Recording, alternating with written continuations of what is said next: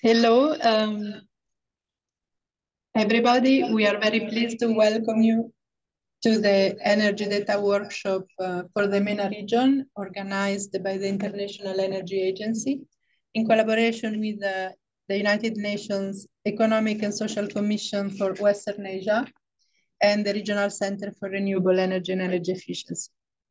My name is Roberta Quadrelli. I'm working at the Energy Data Center of the International Energy Agency. We do have um, a couple of um, logistic explanations for you just uh, before the meeting. Uh, this is a virtual meeting only, and uh, the training will be recorded, but only the part with the presentations of the speakers. This is to allow more users later to, to access the um, material. Um, we do have French and Arabic interpretation during the presentations, and you could test already to select the language by clicking on the interpretation tab at the bottom of the Zoom window. Uh, we would uh, like to encourage you to keep the microphones turned off during the presentations of other speakers However, uh, feel really free to ask questions, either by raising your virtual hand or writing in the special Q&A section you find also at the bottom of the Zoom window.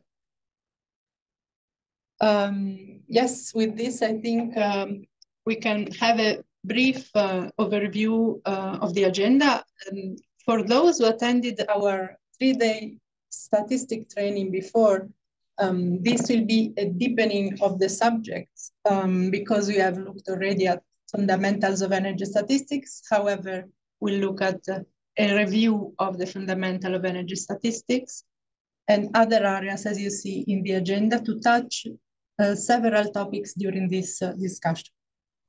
However, I really wanted uh, to uh, give the floor to our um, speakers for the opening remarks. On the side of the IEA, we have Dr. Nick Johnston, the chief statistician of the International Energy Agency, followed by few words from Mr. Nadim Abillama, uh, who is uh, working also at the IEA in the clean energy trans transitions and global energy relations. For uh, ESCWA, we'll have Dr. Wafa Abul Hosn, chief of the economic statistics section. And for RCREEE, we'll have Mrs. Nadia Shiuk, who is International Cooperation and Communication Manager. So thank you very much for joining once again. And Nick, the floor is yours for the opening. Well, thank you. Thank you very much, Roberta. It's a, uh, it's a great honor for me to open uh, this workshop. I know that many of you, as, as Roberta mentioned, have participated in the IEA Energy Statistics Training Week earlier this week. Uh, and uh, that was our 26th uh, training week. But this is our first dedicated training session in the MENA region, and it's of great value and importance to us uh, to have had this opportunity, for which I would sincerely like to thank uh, uh, both Dr. Abul Husn and and Nadia Shuk uh, for the collaboration and helping us put it together. Uh, it's of extraordinary importance to the IEA. Uh, I'm also happy to see that we have participation from over 50 different energy users and generators. And I think that's quite important. We've got a nice combination, nice diversity, both in terms of the countries that are represented, the ministries and the agencies, as well as the role that they play in the data cycle. Uh, because that, of course, is what we at the IEA focus on the links between data and good policies. Without good data, you cannot have good policies. Uh, and for us, the foundation stone is lies with data and statistics and the quality of data and statistics. Uh, we work with over 150 countries around the globe. Uh, but we're particularly keen to work with the MENA region for a number of reasons. First of all, it's an extraordinarily important region for uh, both energy consumption and production. Uh, it is pivotal in the global energy landscape. Moreover, We have the COP28 coming up to be held uh, in UAE. So having this workshop just a couple months prior to the COP uh, is, of course, extremely timely. And also, of course, we have association countries in the region. By association countries, I mean part of the broader IEA family, beyond just our uh, our members. Increasingly, we are reaching out across the globe to make the IEA, the formal IEA family, uh, as broad as possible. Uh, and in the region, we of course have Egypt and Morocco as, uh, as, as, as, as, association countries. But we're working with all countries across the region uh, to help further develop our data, ensure that it is of high quality, uh, timely, uh, and accessible so that, as mentioned previously, policymakers are in a situation to put in place the most efficient policies as they shift towards the green, the clean energy transition. We know that MENA region is facing several important uh, challenges, such as increasing demand, environmental concerns, and evolving market dynamics.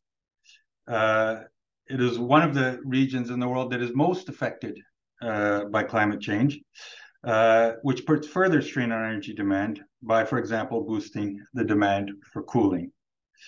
I make these points because it's important for us to see these exercises as two-way streets. It's not a question of us sharing our knowledge with you. It's a question of us sharing our knowledge with you and learning from you so that together we can improve the quality of the data at the regional level so that globally we have a better system of how a better understanding of how energy systems are changing. So I want to emphasize the fact that for us, it is very much seen as a two-way street. Having participated, for those of you who participated in the statistics training week and participated in this workshop, makes you part of a broader community of energy statisticians across the globe uh, who are helping all governments be in a situation to have the data foundation to design uh, better policies going forward. Final point I would like to, to reiterate is I would very much like to, to thank once again the United uh, Nations Economic and Social Commission for Western Asia uh, and the Regional Center for Renewable Energy and Energy Efficiency for collaboration with respect to this. We have partnerships uh, with individual countries. We have contacts in individual countries, but it's also through bodies, whether they be thematic or regional, such as your own, uh, that helps us ensure that our reach is as broad as possible and that we're not duplicating efforts, that we're learning together. Uh, so if I might, I might turn over the floor now to Nadim uh, to say a few words about the structure of the workshop of course, before, of course, we hear from our collaborating partners. Thank you very much. Yes, uh, thank you. Am I am I heard? no. Yes. Yes. Um, so thank you all, and, and thank you Nick and and Roberta for for these viewers, and thank you all uh, to all the participants for attending this training. So um, also in a difficult uh, context, um, uh, for the region, as as you all know, uh, and as was has been mentioned before, energy is a key element of economic development, and statistics is what underpins that.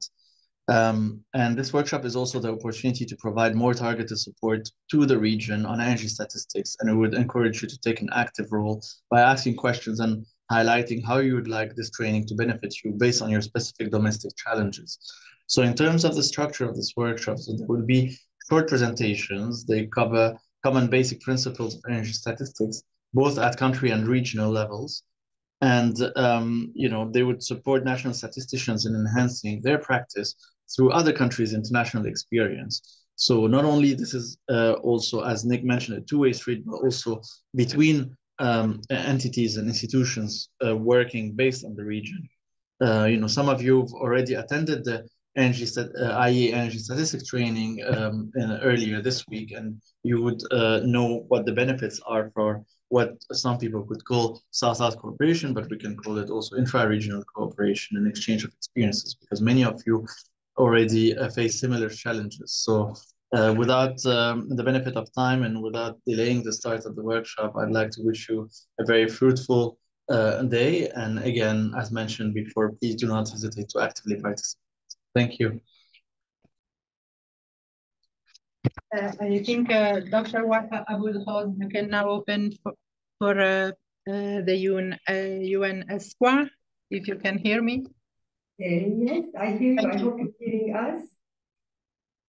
You can hear us, okay. So uh, we welcome you from our side for this webinar, our team in statistics and technology and the energy team in ESCWA. Uh, again, is the Regional Economic and Social Commission for Western Asia and Arab countries. Um, we have been working forever with our partners with UNSD, IEA, OAPEC, RCREEE, and IEF on joint initiative. We thank IEA for the opportunity to have a dedicated day for the MENA region. Uh, our region, as uh, was mentioned by Nick uh, and Nadim, is very important and resourceful at the global level. And this is maybe one of the reasons that this region is at the center of wars and conflict, unfortunately. Uh, I want to uh, just remind maybe our uh, participants who maybe joined us uh, in many trainings uh, previously. We were lucky to have uh, consecutive projects on energy statistics and balance. We had the DA project from 2011 to 2014, we succeeded together to uh, organize reg uh, regional training for trainers on energy statistics in Oman. Uh, other uh, regional training in Abu Dhabi hosted by uh, the statistics office there. Uh, we did national workshops in Yemen, Iraq, Egypt, and a few trainings on the joint oil data initiative. Also, the Islamic Development Bank provided us with a, with a project to target the energy use in the transport sector. It was only for three countries, Jordan, Egypt, and Palestine, and it was targeted to undertake a field surveys uh, to estimate energy use in transport. And uh, the, the project ended with um, like uh, the results were used in policy in the three countries and we were very happy to see uh, that you know uh, energy policies were taking uh, as per the results that were obtained in the project. Uh, again, a third project, ADA on uh, SDGs, together with UNSD and the regional commissions, we were able to provide national workshop and technical support to Lebanon in 2017. Uh, again, during those projects, we tried to uh, provide training material that was developed by IEA and UNSD in Arabic. This is very important for our member countries. Uh, the training material of the uh, IEA, uh, IEA uh, training on energy statistics, uh, the presentations and the exercises were all translated into Arabic. And uh, we hosted at directly the, the, the, the material for participants to to be able to um, uh, practice on their own uh, an e-learning uh, course. Other material that we translated are the International Energy Statistics um, recommendations, the IRES, and the energy account, which is also hosted and can be accessed anytime for our participants who want to, to join. We, uh, we also uh, insisted to have both statistical offices and uh, energy for our um, during our meetings it's important to have users and producers and this dialogue between both. And uh, for this specific webinar, we suggested to our partners to add a session on energy data from trade flows. Our colleague uh, Majid Hamoud, who's with us today, is the team leader of Trade Stats, will be presenting. And we thank him uh, for developing this platform that can inform a lot on energy flows. Uh, a lot of time, uh, even like um, uh, staff in the statistics offices or energy, they don't have access to this detailed trade data. And what we're trying here with our team is to really work in the details uh, even like in oil and oil products, and there will be demonstration on this. We also suggested to have a, a, presentation on technology applications to assess and estimate solar energy using satellite imagery and other geospatial tools. Um, Christophe Rohana from our team did the research and will be, will be presenting a use case. So we wish you all uh, the best of luck and we hope you will benefit from this um, webinar. Thank you. Thank you very much, uh, Wafa, and I would like to give the floor to Mrs. Nadia Shuk for the opening from Recreate. Thank you. Thank you. Thank you. This is Nadia Shur, Director of International Cooperation at the Regional Center for Renewable Energy and uh, Energy Efficiency. Uh, pleased and uh, happy to be with you to today for this uh, workshop on energy data in the in the MENA region. Um, I thank you. I thank uh, our partners, uh, the uh, International uh, Energy Agency, the UN ESCWA, uh, for this uh, opportunity once again to collaborate together. Uh, of course, uh, as you know, the energy uh, plays a, a, a, crucial role in driving economic growth. Mr. Johnston has, has shown the the importance of the accurate and the reliable energy data in elaborating energy policies. Uh, so uh, it's also an important uh, issue for us. The Regional Center for Renewable Energy and Energy Efficiency is the intergovernmental institution that aims to, to enable uh, and increase the adoption of renewable energy and energy efficiency in the uh, in the Arab regions.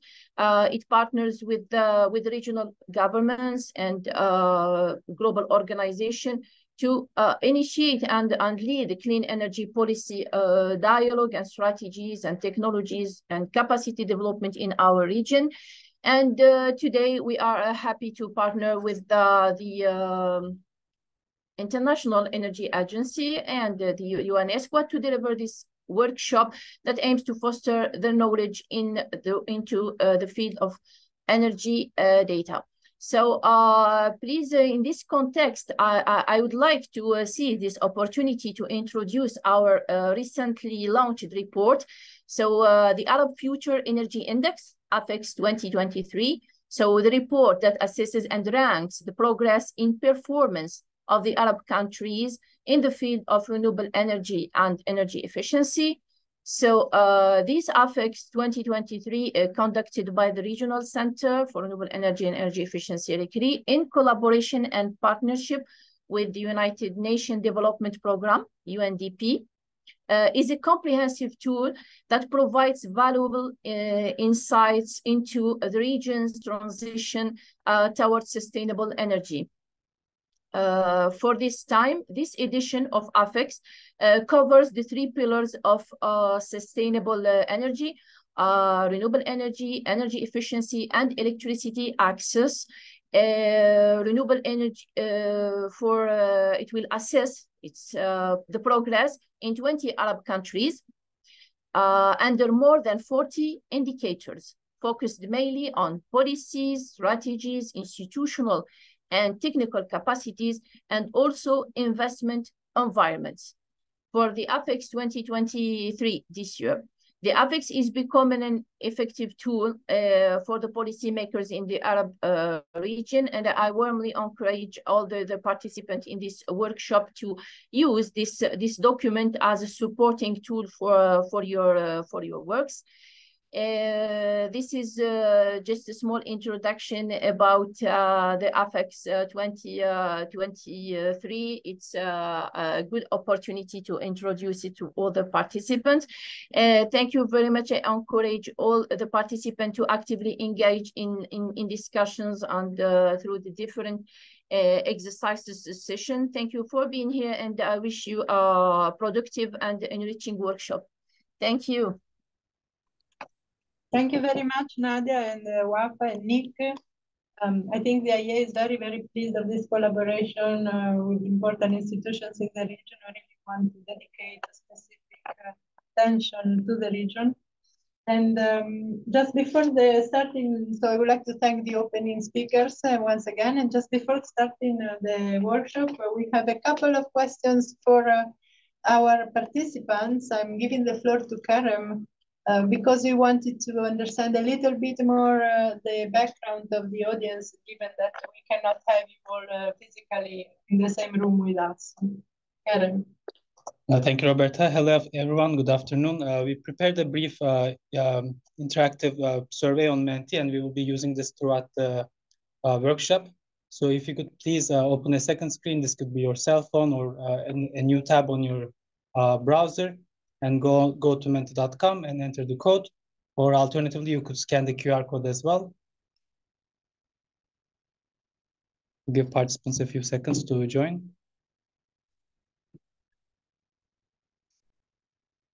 And uh, once you join, you could see the code uh, on the top of the screen throughout the presentation. We'd just like to get to know the geographic coverage. Uh, today, most of you are joining from the MENA region, but we know we have participants all over the globe, so we'd like to get an idea.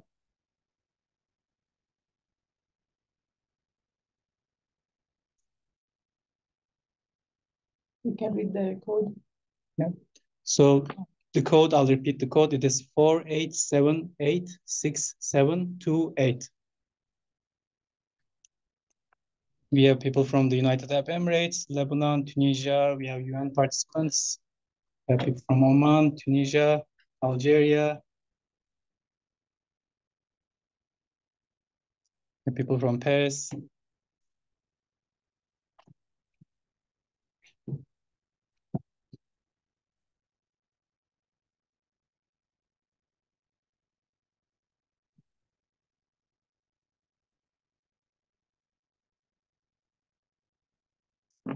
Yep. The, our next question would be uh, about the, the as, as you know, the IEA uh, held an energy statistics course uh, between 9 and 11 October. We want to uh, know if the participants here attended the, the training.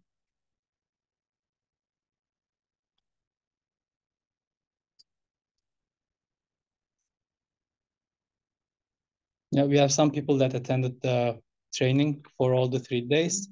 So it will be useful to it, it will be useful to improve your understanding of uh, fundamental statistics. And uh, this training will be in addition to the training that we already held. So it will be useful. And lastly, we'd like to understand uh, what's your role at your current institution. I know that we have a lot of people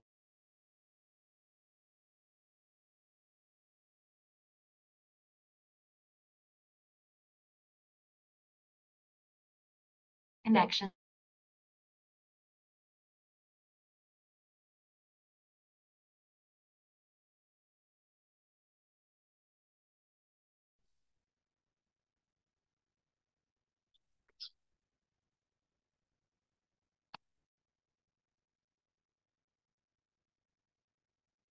We have energy analysts, we have people working on data, we have directors, we have a sustainability engineering intern,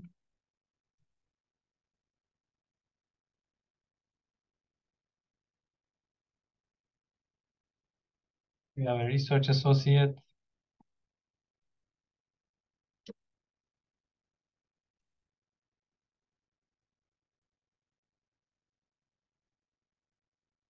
We have statisticians. Um,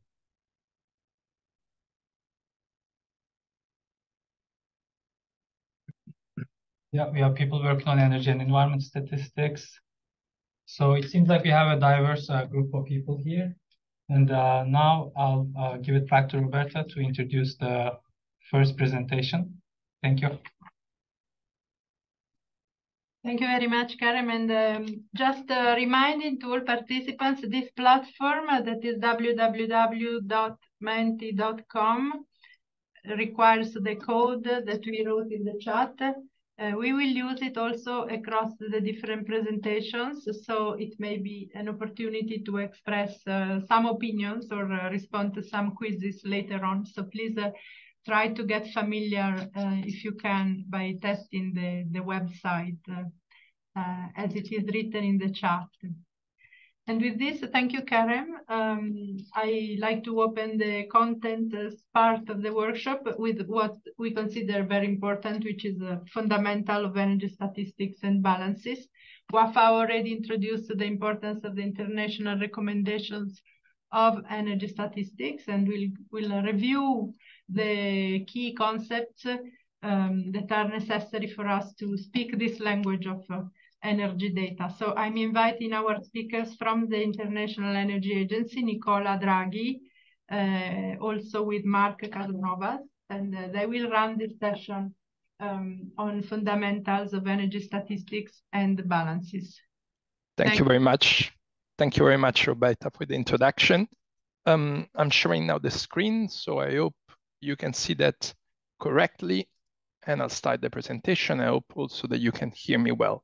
So uh, again, good afternoon and welcome everyone. I am Nicola, Nicola Draghi, and I'm a, an energy data officer within the annual energy statistics team at the IEA. So together with my colleague, Mark Casanova Simon, we will uh, first go through this presentation on fundamental of energy statistics and balances, and then there will be an exercise session. So let's start from our reference for energy statistics, which is uh, IRES. We already mentioned that several times, the International Recommendation for Energy Statistics developed by the UN in collaboration with many organizations, among which the IEA. So these guidelines set uh, um, important information and definition regarding energy statistics, their collection, quality assurance checks, dissemination, and most importantly, they give us an ambiguous definition in order to speak globally the same language as Roberta said before when talking about energy statistics and balances. Now, the definition of energy products is based on uh, SIEC, the Standard International Energy Product Classification, and states, as you can read in the slide, that energy products are forms of energy suitable for direct use or for release of energy while undergoing chemical uh, or other processes, chemical transformation and so on. Instead, energy flows are based on the International Standard Industrial Classification, ISIC, and it's interesting to highlight here production, which can be attributed to any economic unit, including households, and energy sector uh, on use, and well, energy sector as a whole, uh, where we speak about economic units whose main activity is not only energy production, but also transformation and distribution. Now, energy statistics are generally collected for one or more energy products pertaining to the same, let's say, group of products, can be uh, oil, can be coal, can be electricity. Uh, all of them are put all together, let's say, in the energy balance which is an accounting framework for compilation of data on all the energy products which enter or exit and then are also used within the national territory of a country during a reference period, which is usually a calendar year. So you can see here the, an example of an energy balance matrix. It is indeed a bidimensional matrix with products in the column dimension and flows instead in the horizontal dimension in, uh, in the rows.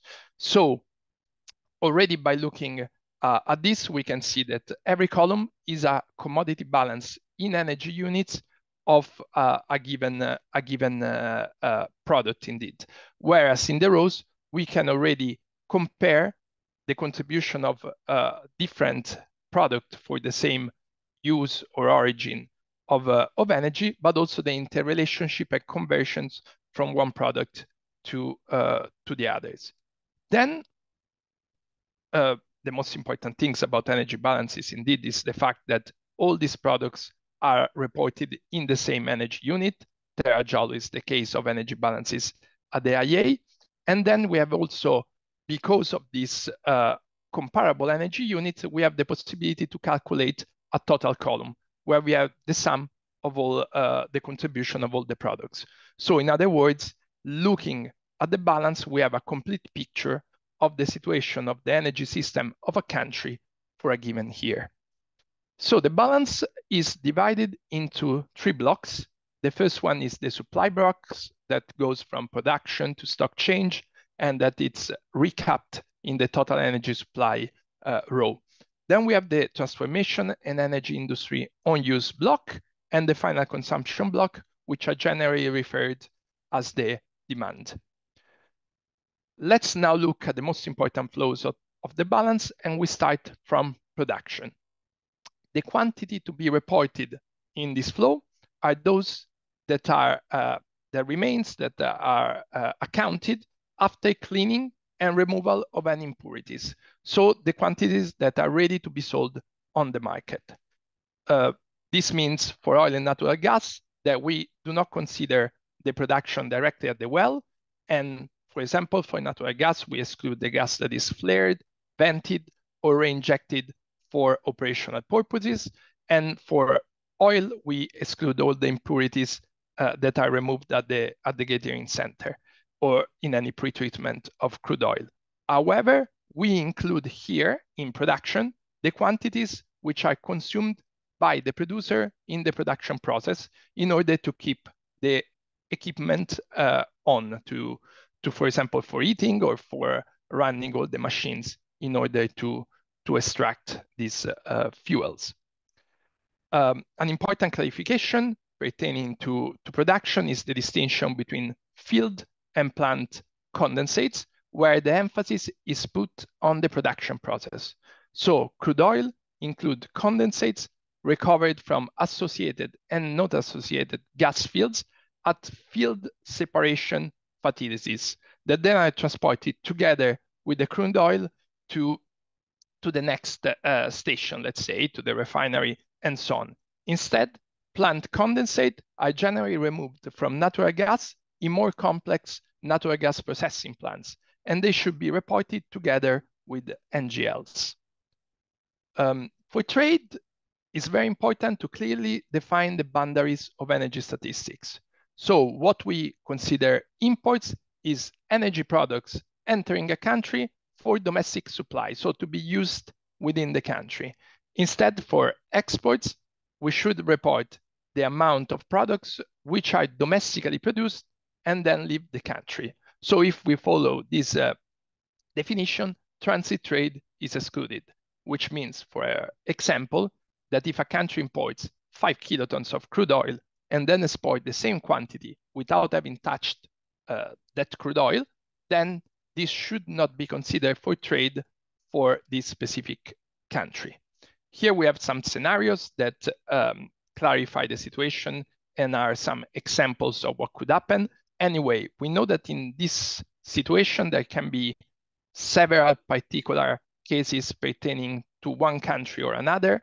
So if you are unsure about where to report uh, or whether to report or not specific trade, uh, you can always contact us for support.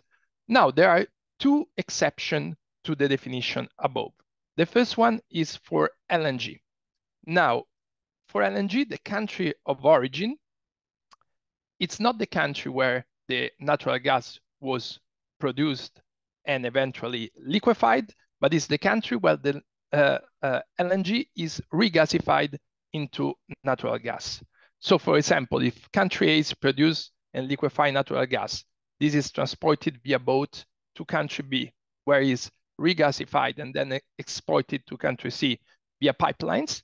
Then for uh, country C, the origin of the gas will be country B. And for country B, obviously the destination of uh, the export will be country C. Another exemption is for uh, electricity and heat, where the uh, trade flows reported are the one uh, that cross the border and do not follow the origin and destination rule that we uh, described before. And this way, uh, we include also transit trade, and this is because electricity and heat as energy vector are, uh, let's say, different from coal, oil, and natural gas.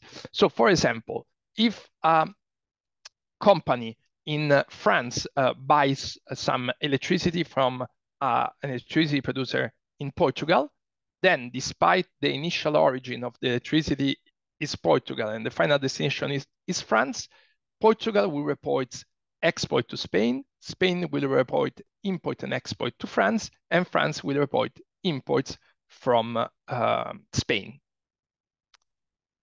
Moving on to another very important flows, that's international marine and aviation bunkers. And in particular, I wanna put the emphasis on marine bunkers. And this is because marine bunkers are very important uh, for the demand of oil in a country because global trade happens uh, mostly by, by sea. And it's very important to uh, define whether the consumption happens in domestic or international uh, or international navigation. Now, the split between the two, domestic and international, should be determined on the basis of the port and airport for aviation of departure and arrival. So it has nothing to do with the flag or the ownership of the airline undertaking these, uh, these voyages. And also for, uh, for consumption in fishing, uh, this is covered elsewhere in the balance. In final energy consumption, actually, we have a, a fishing uh, row, a fishing flow. So it shouldn't be reported the, the consumption of this vessel into international marine bunkers. Moving to the transformation block, I want to show you a very important uh, convention that we have, a sign convention, that it's the fact that inputs of a transformation process are reported with a negative sign. So for example, here we have the example of uh, an electricity plant whose input is natural gas reported with a negative sign, and the output is electricity reported with a positive sign. Obviously here you see uh, the total electricity produced by all the inputs, so the value is very high compared to the input of natural gas. Um, and then in the, in the column total, you have in the transformation block generally all negative values because that's the column that it's the sum of the contribution of the of the other products before and you see there uh, the energy lost during the, the transformation as a negative figure. Another important concept and distinction is between gross and net production. So gross production of electricity and heat refers to the total output of a facility before any of it is used.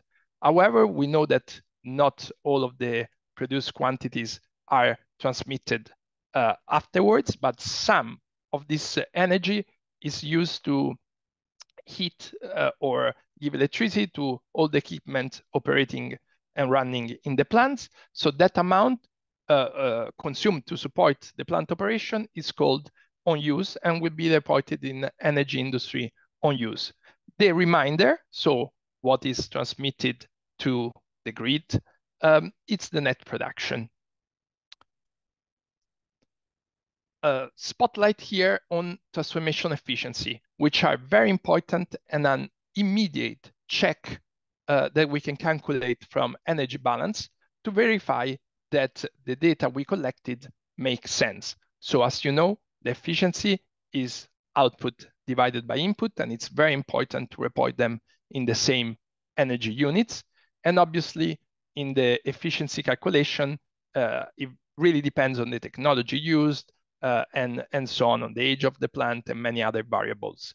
Um, and obviously, the, this efficiency has some checks uh, that can be done. For example, it cannot be and, and has to uh, respect some rules. Obviously, efficiency larger than 100% are not plausible, and um, they depend very much on the technology, on the age of the plant. So it's very important to know these uh, variables and also the historical efficiency of a given power plant to know if the data collected for the next year uh, make sense, are consistent or not. And here you simply see uh, an example of, a, of a fuel electricity transformation where two type of fuels are used, A and B, uh, or two quantities of the same fuel and see the electricity is the output and how to, to calculate that. Uh, this is uh, to this uh, slide on the transformation was to move on then in a very important transformation, obviously, for uh, many countries, which is what happened in uh, refineries, where generally primary oil is converted into secondary oil. And you can see here a list of the oil products collected in uh, energy statistic. Obviously, losses occur in this process, and this means that generally the refinery intake should be higher than the refinery uh, gross output.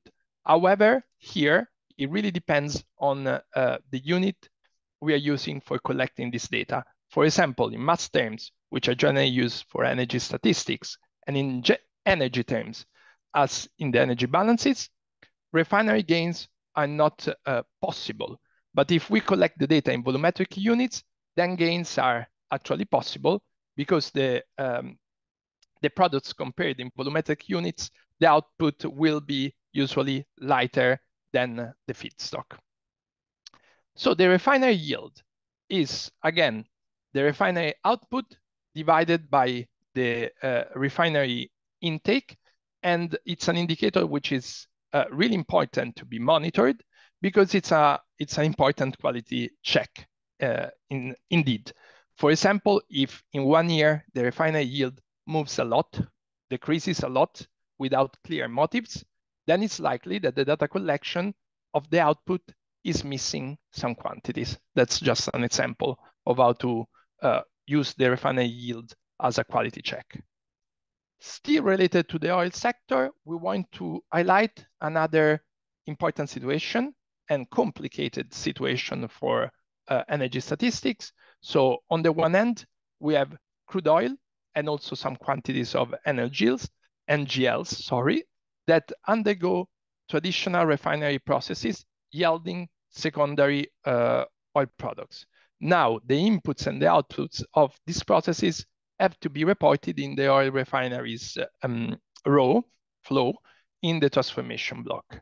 However, it is possible to have some other quantities of NGLs and plant condensate that can be treated in gas processing, gas separation plants, yielding a smaller range of uh, output products, which are generally LPG, ethane, and uh, naphtha. Now, this is sometime, let me show you where to report that, but this is sometime misreported because the gas facility is in the same complex of the refinery. But it's really important to distinguish these two different processes and the products participating to this uh, separation, to this uh, uh, process, should be reported in the transfer row, again, with the corresponding sign. So in this case, you see natural gas liquids with a minus sign and all the uh, secondary output products with a positive sign. Finally, uh, some example for you to show the difference between transformation and energy industry own use. We have oil refinery first. We already went through uh, the transformation, but the energy own use is when some part of these uh, outcome products, for example, fuel oil or refinery gas, are used to support the operation of the pipe plant. So they're burned to support the, the operation. So they have to be reported as a transformation output and then as a consumption in energy industry own use. A similar thing can happen in uh, coke ovens, um, where some output products of coke ovens can be, again, burned to provide energy to this very energy intensive process. Finally, uh, some examples, uh, sorry, uh, finally, we arrive to the last block, the one on uh, final consumption, where we see the sector demand with the disaggregation uh, uh, given provided by IRES. So we have uh, many different sectors, industry, transport, residential, and so on. Among these, we have non-energy use. So final consumption indeed include non-energy use of energy products, and this is especially important for oil products, but also natural gas because they're often used as feedstock in the petrochemical and chemical industry to produce plastic, fertilizer, and other products.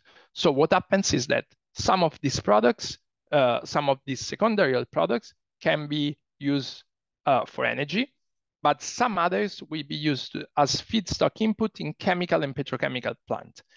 The uh, outcomes of this plant will be primary chemicals, and they are not energy products, so they are not included in the energy balance. And sometimes we have also uh, directly output of the refinery as lubricants, uh, paraffin, waxes, and uh, bitumen, and so on, which are uh, already products used for non-energy use.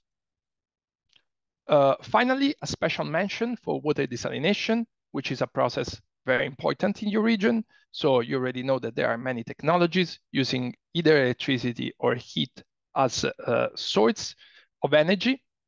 Now, the problem with water desalination is that these plants are often in industrial complexes or uh, within companies that produce also uh, energy together with, uh, with water. So it's challenging to separate the statistics. In case this is possible, and uh, this should be, um, water desalination falls in ISIC division 36, which, to, to recap, uh, uh, means that it should be reported into commercial and public services. So the energy used for water desalination should be reported into commercial and public services in final energy consumption. And uh, finally, uh, many ways to collect data from administrative sources, which are uh, the data generally gathered for non-statistical purposes from uh, various entities as energy regulator, ministries, transmission of uh, uh, electricity operators, and so on. We have surveys that are very important and usually uh, yield very uh, high quality data, for example, on end use of energy, but they are also very costly. So it's important to know what should be the frequency in order to have a good trade-off between cost and benefit. Then direct measuring, uh, this means, for example, measure of electricity to conventional smart meters of calorific values, and you need to have equipment in place in order to do that, and modeling uh, as a complementary to all the other data collection to fill some uh, data gaps. But that's the case. Uh, for modeling, you need uh, very robust input data in order to have reliable output. To conclude, uh, aggregate overview of the main flows in the energy balance uh, left, we have the supply side. Right, we have uh, the demand side, transformation, energy industrial use, and total final consumption. And as we saw before, uh, there will be different sources and methodologies to collect data, both to the from the left and from the right side. And so it's very possible, also, I would say almost probable, to have a mismatch between the two sides and this is called statistical difference. And as a general rule of thumb, this should be uh, not more than 5% in order to be acceptable to show a good uh, data quality. Uh, however, uh, I just want to conclude with that. It's possible that you see also stock change as both rows up and down uh, next to their uh, next to their box, which means they can be positive or negative, and it can happen that stock change is used as, a, uh, let's say, a residual or a mean to, uh, to let's say, uh, return to equilibrate the supply and the demand side.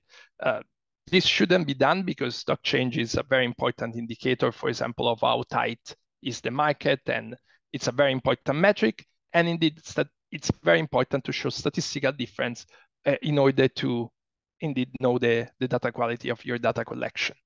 So thank you very much. Uh, that was it. And uh, feel free to uh, ask questions. Thanks. Thank you very much, Nicola. And uh, I like your uh, last slide on the supply and demand. Maybe you can go back one.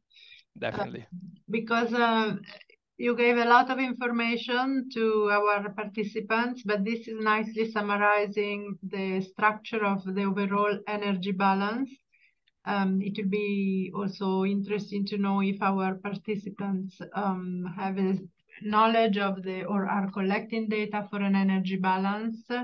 In the meantime, I also reminded that the international recommendations uh, uh, link on the chat uh, because uh, we can find there also the Arabic translation uh, thanks to the UN and uh, I think it's important to really refer to the fundamentals um, of this language, both in terms of what products we should collect data for and what uh, are the flows uh, that are nicely depicted in this uh, in this slide. Um, that allow us to follow, you know, what happens to these products across the economy and how we can track then um, what happens. So I was, um, I would like to encourage uh, any participants to um, to comment on the energy balance or fundamental of energy statistics, including whether they are familiar or not with the main concepts, because uh, it may depend on the on the background.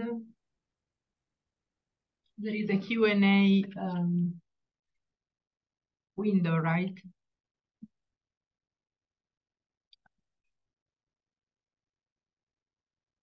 We would like that uh, the, our participants are not uh, feeling shy to express uh, questions or comments, including whether you didn't understand. Yes, I was a bit fast in some points, so I'm definitely happy to to come back. We gave a lot of information, but um, yeah, I have a question because you, Nicola and Mark, you work on the collection of data for many countries. Across the world, as Nick mentioned before. So looking at this graph, where do you see the major difficulties for countries to collect data for? You are uh, experiencing that in your validation work every day. So can you? Yes, definitely. So um, the flows which were introduced at the during the presentation are also some of the obviously of the most important flows, the one to pay more attention to and the one where we we can have uh, more uh, more problems. I think on the supply side, uh, well, transit trade it's it's a really important topic as well to uh, have the correct reporting of production. Obviously, uh, stocks are another very important topic because we know that they are not easy to to collect. So uh, I mean, it's it's a difficult data to to receive uh, so I invite every time that, for example, a, a participant or, uh, or, or a data collector doesn't find this information to try to look in all the possible sources and organizations that collect data in order really to to have an idea of of this stock uh, stock change.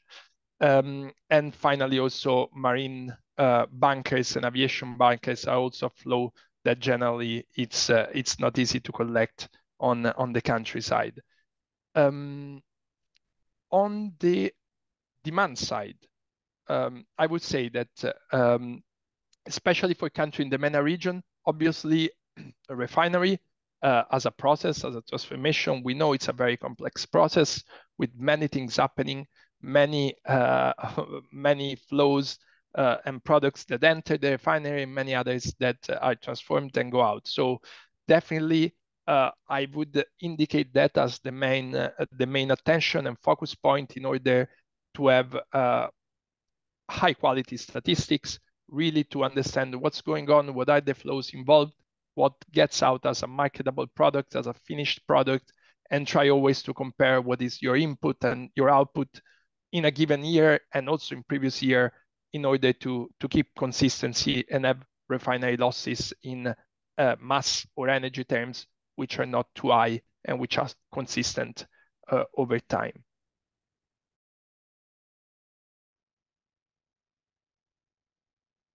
You don't want, yeah, there's a question also in the chat.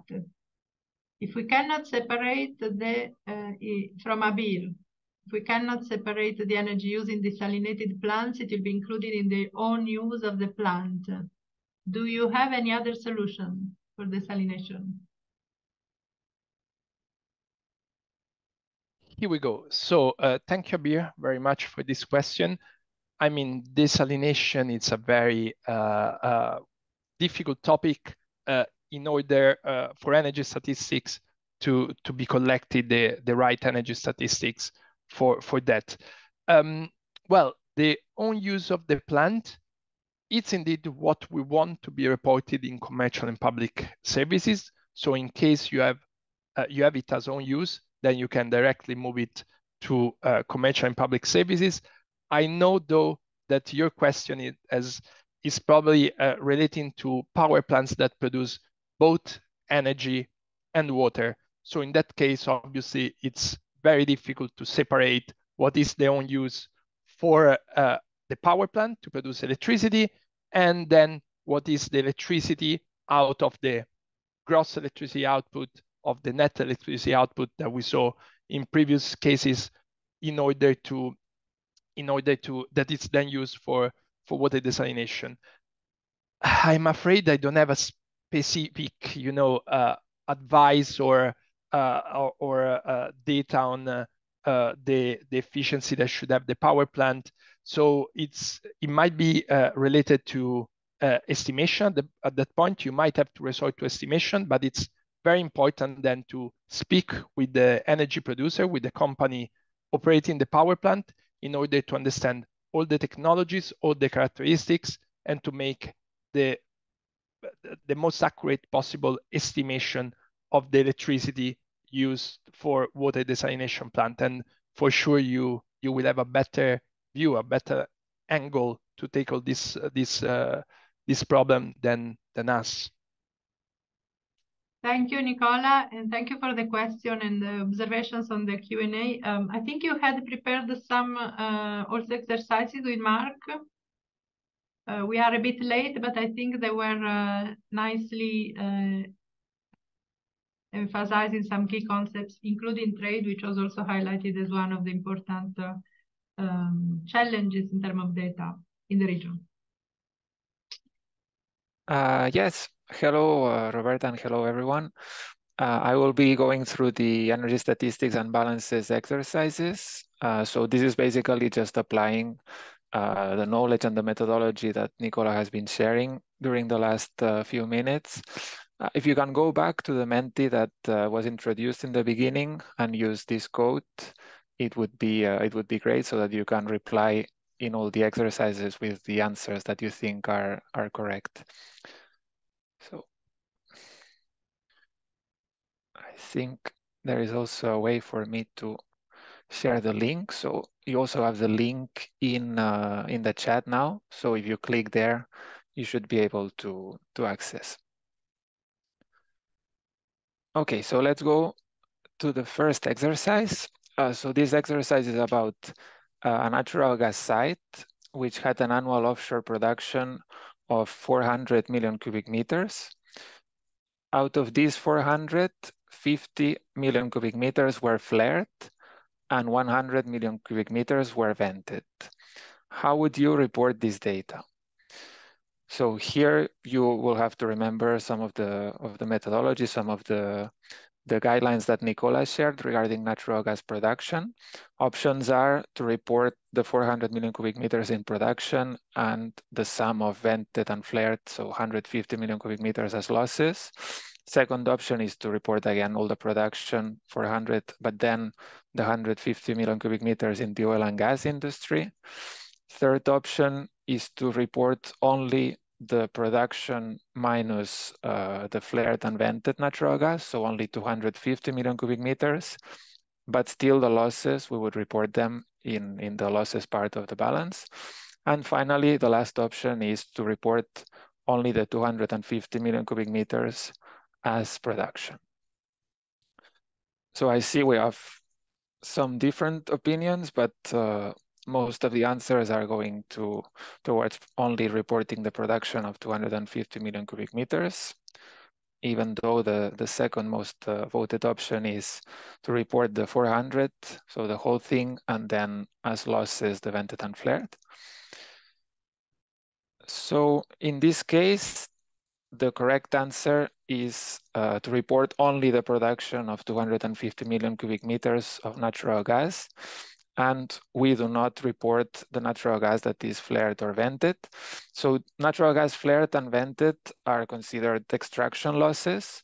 So these are losses that take place, of course, during the extraction of, of natural gas. And these are not included in the marketable production of natural gas, which is what we want to report in the, in the energy balance. So these, in addition to gas flared and gas vented, it would include also gas reinjected, which is uh, natural gas that is injected into an oil reservoir to increase the, the oil recovery. Um, so I, I, hope this is clear. Let us know in the chat if, or you can take the, the floor if you want to ask any questions, but remember that natural gas flared and natural gas vented should not be considered natural gas production in the energy balance. Let's move on to the next question. So for this question, you will see on your screens an, an image, which is basically uh, an energy balance that I can show also in this image. So here we see uh, a few products uh, like primary oil and secondary oil products. And we see some flows regarding the supply, so production, imports, exports, stock change, and oil refineries. So here what we want to know is if you see any problems in the reporting of trade for these primary and secondary oil products. And if you do see some, which problems uh, do you see? So let's focus on trade. So of course on imports and exports. You can go, I recommend going product, product by product. So you can first do uh, crude oil.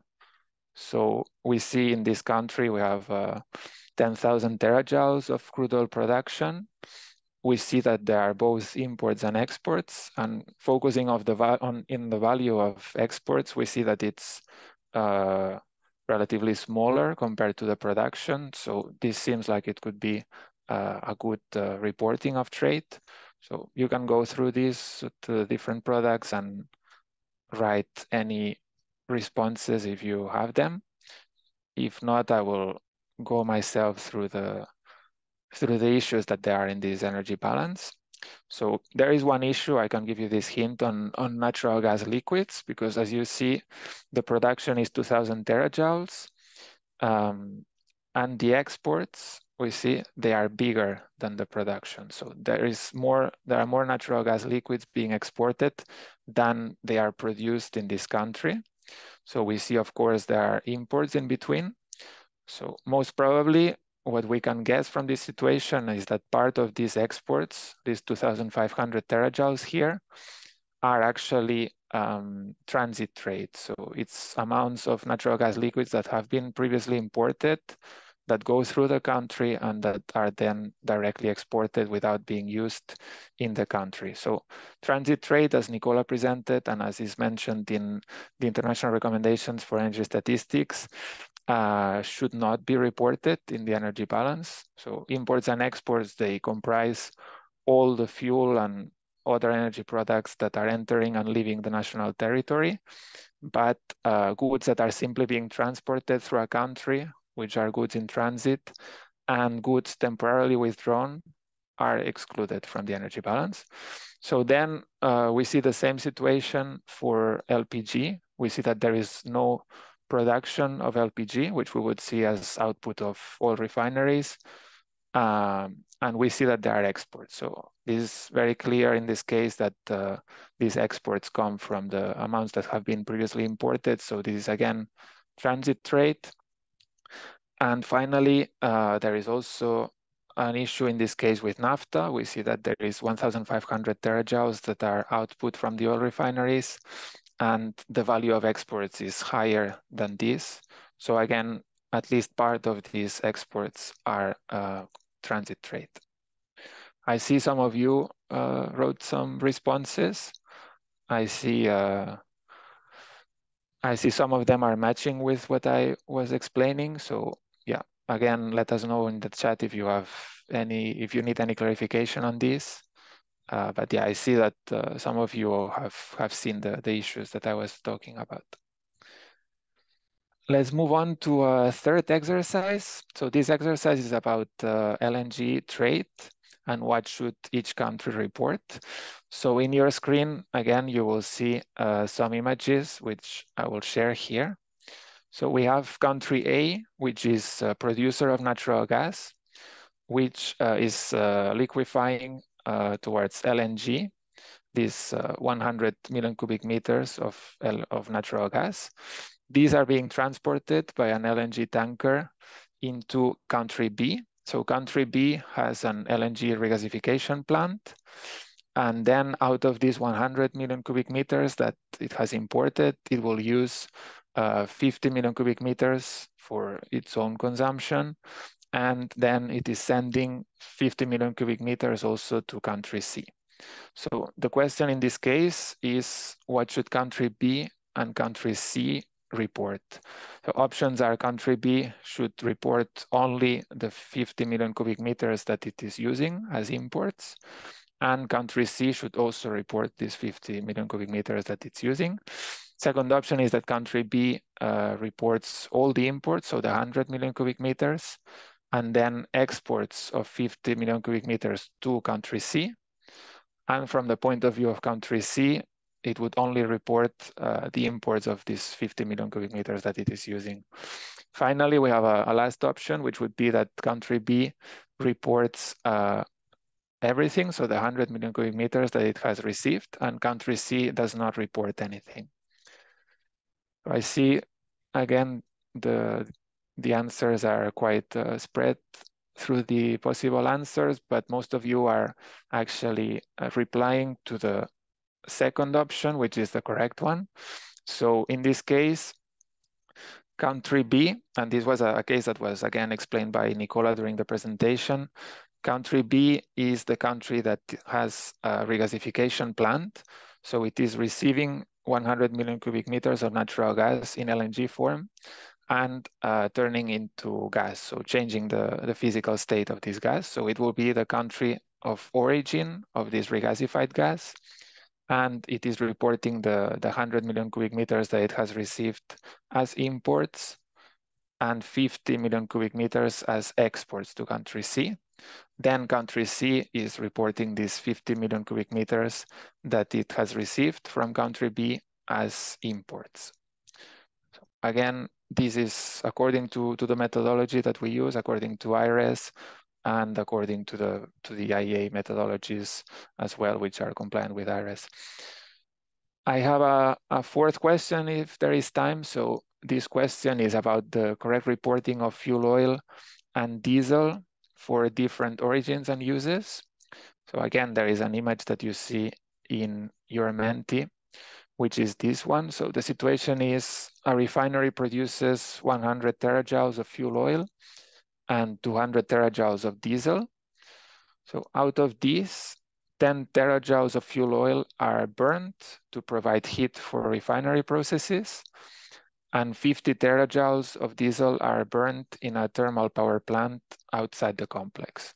So the question is, how would you report all these values here into the energy balance? In this case, a very simplified energy balance where we only see fuel oil and diesel, and we see uh, some flows which uh, are concerned by the values and the explanations that we have on the left. So again, if you see any uh, options on how to correctly report these values, you can write them in the Menti as your answers. So in this case, I will, I will go through it myself. So the production from the refinery will be uh, oil refinery output in the energy balance.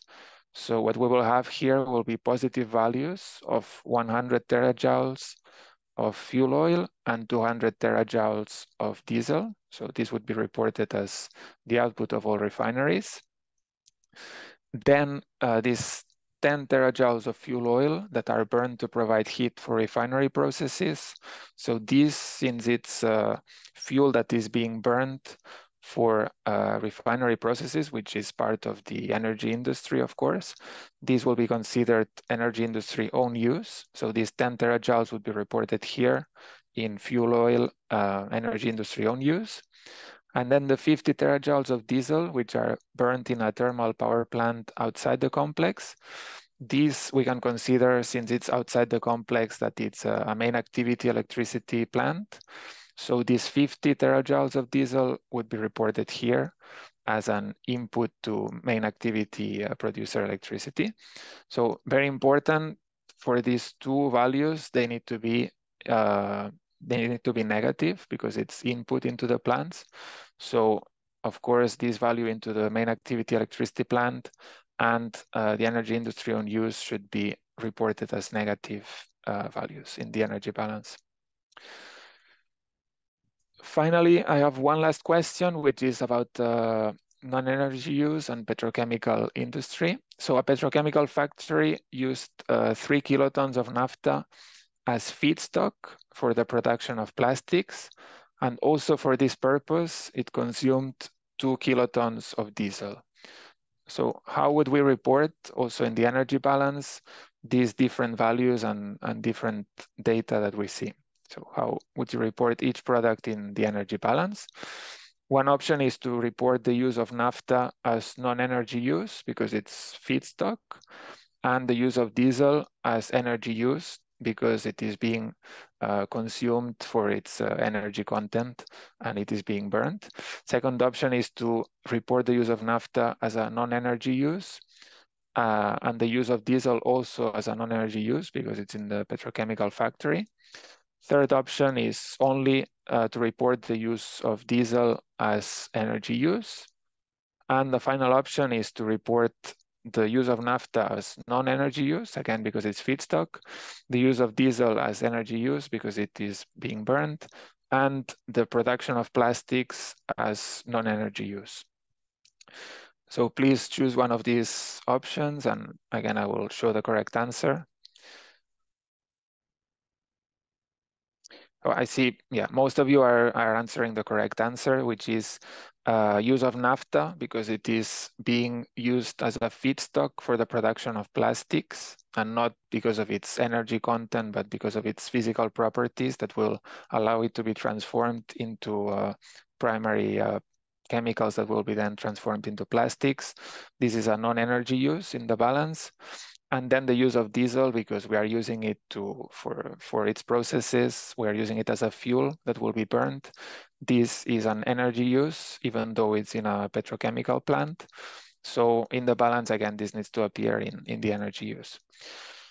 So this will be it from me for the exercises on fundamentals of energy statistics and balances. Please let us know on the chat if you have any questions, and if not, I will give back the, the floor to the chair to continue with the different presentations. Thank you, Mark. Thank you, Nicola. Um, I think uh, you are providing a wealth of information, and this topic by itself would deserve uh, a five-day week, I think, of explanation in methodologies um, because we are covering all the fundamentals of energy statistics, the energy balances, which is also a elaboration of the initial data. So it's more to give a sense of the importance uh, of certain methodology to really align data across countries. And that's why we also always refer to these international recommendations um, on energy statistics that have been adopted by the United Nations. So they are uh, our common language, really, I would say, in energy statistics. Um, so we hope in the future that uh, we'll get uh, opportunities to discuss more in depth each of the topics introduced in your session because it was very, very rich. Um, if there is no questions, I don't see any question in the chat or in the Q&A. Um, I don't have it. Yeah, the Q&A. Um, there was a question from, uh, yes, I, I, which I can read to everybody speaking about the Tunisian case. Wafa was asking if the balance is disseminated and there is a confirmation of that. So it's very nice to know also that um, the data collection work has a, a, a, dissemination component as well, which is why we collect the data ultimately. So thank you for that clarification. I didn't read it before. So if uh, there is no question, I would move to the next uh, session, which is about trade, because um, our colleagues, especially from ESCWA, they reminded us how important trade statistics are in the region.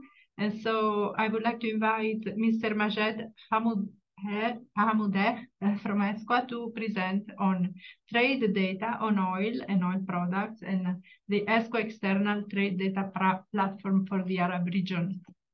Thank you. Hello, good afternoon.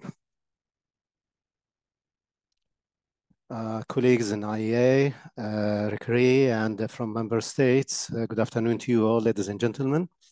Uh, it is, uh, in fact, a pleasure to me to join you in this uh, session, although I, after the very informative presentations, I felt that I'm really guest to this group of highly specialized and distinguished speakers and uh, attendees. It's okay. It's okay. Uh, um, am I heard? Uh, okay. Okay. Okay. Um, so I will uh, just uh, give, uh, in a nutshell, what we are doing here at ESCWA, away from the energy um, and uh, I'm, I'm sorry about the uh, a bit of uh, confusion about the presentation, the language. Uh, I prepared the presentation in Arabic for the Arab, taught the Arab uh, uh, participants and it would be easier for them to, to get it in Arabic. But it, it would be good for the them to see me speaking in English and then they can see the material in Arabic. That would also help the um, translators, our colleagues, translators. Um,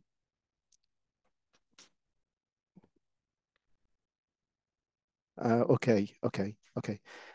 So I'll just uh, go quickly to what we are doing here. Um, I heard our colleagues, presenters before me, um, emphasizing the fact that getting data and reliable data and good data is uh, imperative for uh, making good decisions, and that's true. And that's where uh, we uh, endeavored in ESCWA to bring detailed uh, database on trade, of course, trade of everything the energy products and the rest of products, everything that is traded internationally, and to put it as much in detail as we could, uh, and to be in bilingual in Arabic and English, and uh, also to complement it with very useful uh visualizations uh, that uh, can bring together data to see it on the regional levels, sub-regional levels, intra-regional, and on uh, groups uh, groups of products you can see it. Uh, the total trade i mean divided by groups of uh, trade uh, products and also uh, along economic grouping, groupings and regional trading agreements so um, we did this database to cover a huge gap in the available data in member countries Data is not produced uh, usually by many member states on time or with the full detail that is required.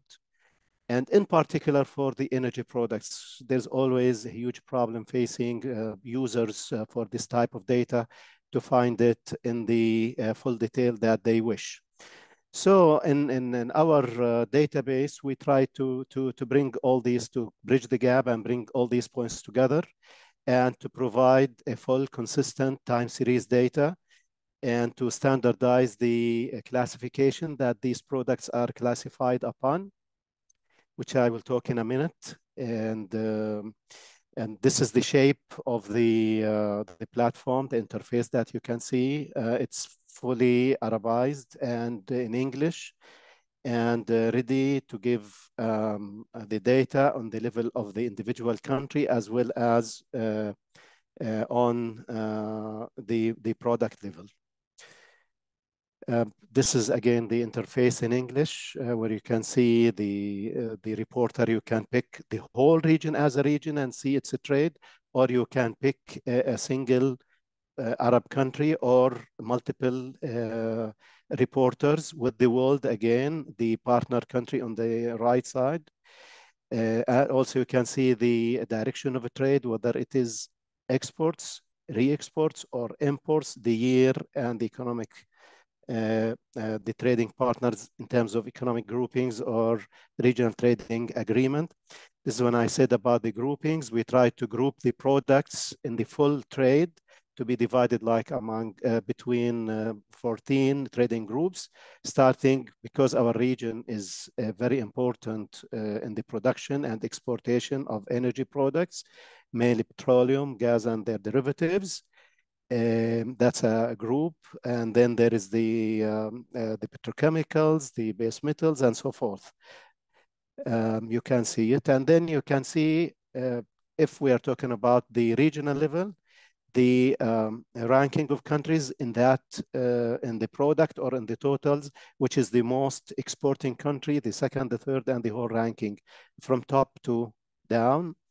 And then you can see in terms of trading partners, if we are picking a product or we're picking the totals of exports and imports, you can see the trading partners, for example, here for the whole Arab region in 2021, the uh, top trading uh, partner or the top export destination for the Arab products is the EU, EU countries. Then the GAFTA, the GAFTA, which is the Great Arab Trade Agreement, which is the intra-regional platform. And then the rest NAFTA, ASEAN, COMESA, and the rest. But you can see this on the level of the, the, the product, the country, or the group of countries. Then you can trace the total, the trade balance also on the total, and on every product you can see the trade balance over the period we are bringing, uh, providing the data, starting from 12, 2012. On the right side, you can see the top 10 trading partners, individual countries. So um, uh, that's in a nutshell what we are trying to do. And uh, since last year, we launched this uh, um, uh database, the platform for external trade, uh, data statistics for the Arab region. And uh, um, now we are just maintaining that and updating that, uploading the most recent data that we could. In a month time, we'll be presenting for the whole region the 22 data. Now it is 21 when we access. Anyway, um, um, in, in, in a second, we'll be moving to a, a, live demo from the platform, the data platform, that we can um, uh, talk a bit about how to use it and uh, what are the different uh, functionalities in that uh, platform. To start with, um, talking about the topic now at hand, which is the trade data uh, relevant to energy uh, products.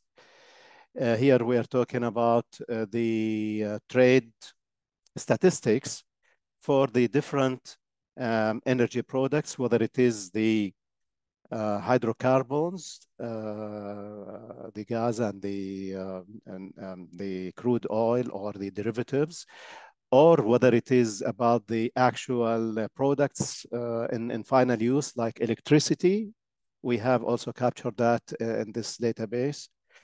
Or if it is related to the uh, uh, trade in uh, renewable energy products, which comes in a huge classification because of the diversity of these products, which goes from the um, uh, the machinery, the equipments, and the parts, and so forth to uh, generate uh, electricity, uh, whether it is generated by wind, solar energy, hydroelectric, uh, by, by, water, power of water, or other means. And the um, the the storage, the spare parts, the every type of thing that could be classified under the or related to the renewable uh, energy products.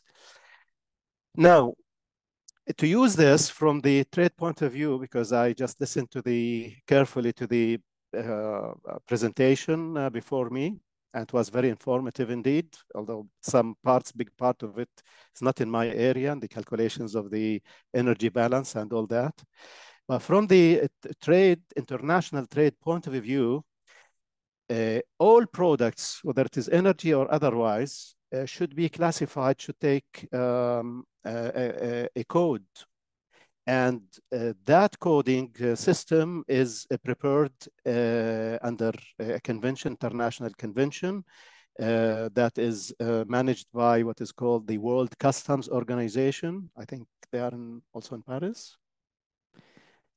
or Madrid and uh, they produce uh, the full classification for every item that goes into international trade, exports, imports between countries and cross uh, international borders. And uh, it is classified in a way to grab uh, the processing and the technology manufacturing stage on every group of products. It starts with the, the whole classification, I mean, which is called the harmonized system of coding HS HS for short النظام المنسق in Arabic because we cannot find the short for that.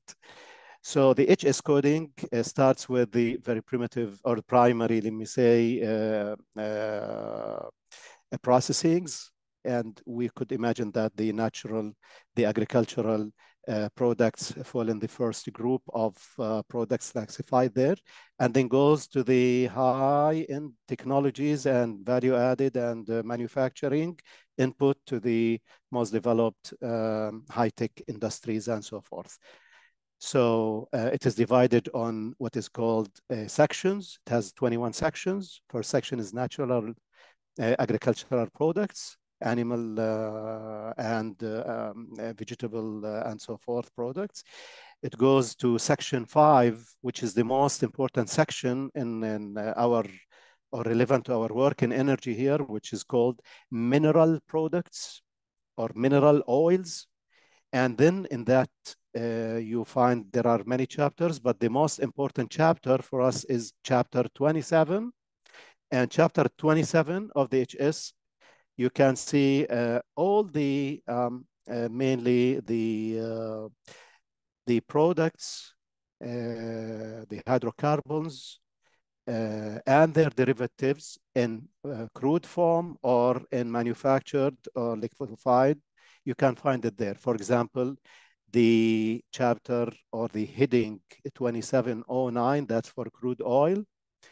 2710 is for all the derivatives, gasoline, diesel oil, uh, jet uh, fuel at every level. And then the 2711, which is for uh, classifying natural gas and its also products. Um, this is on the four digit, we call it the HS at the four digit, which is at the heading level. And then we go to the classes, subclasses inside that should go into a bit of expansion to a six digit. And for example, this is a snapshot from uh, in Arabic for uh, the uh, the platform, which shows chapter the section five, 27 then is the uh, chapter, and then 2709 the headings, and you can see uh, the detail detailing of all the products in there. Um, of course, we'll be going to a live demo in a few minutes uh, to see in English how, how that is uh, uh being uh, done. And then we see, for example, the electricity energy, which is final product that is passed through electricity grids from a country to a country. And there is a huge, uh, or there is a, a major project in our region here in the Middle East that goes from Egypt to Jordan, passes to Syria, and most probably will reach to other countries uh, in the future. Electricity energy is also classified in this 27, although it does not have anything to do with mineral products, but tentatively they put it here for future revisions. Maybe they will list it in a separate entity, not under the mineral products, hydrocarbons, I mean. Uh, so it takes uh, the heading 2716 electricity energy. For the rest of the uh, trade in products and data for products of renewable energy that we just talked about, they are uh, in diversity and uh, they fall uh, within different sections, but mostly we could trace them falling in two chapters, 85 and 84.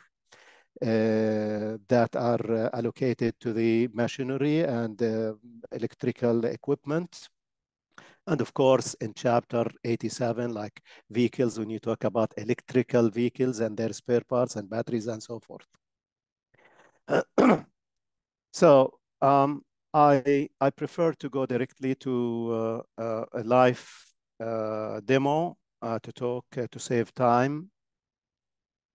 I hope uh, my screen looks a bit uh, small. I hope it's uh, readable uh, by uh, all. So um, this is the whole platform, which I said Arabic, English, and uh, full, inter fully interactive, and where.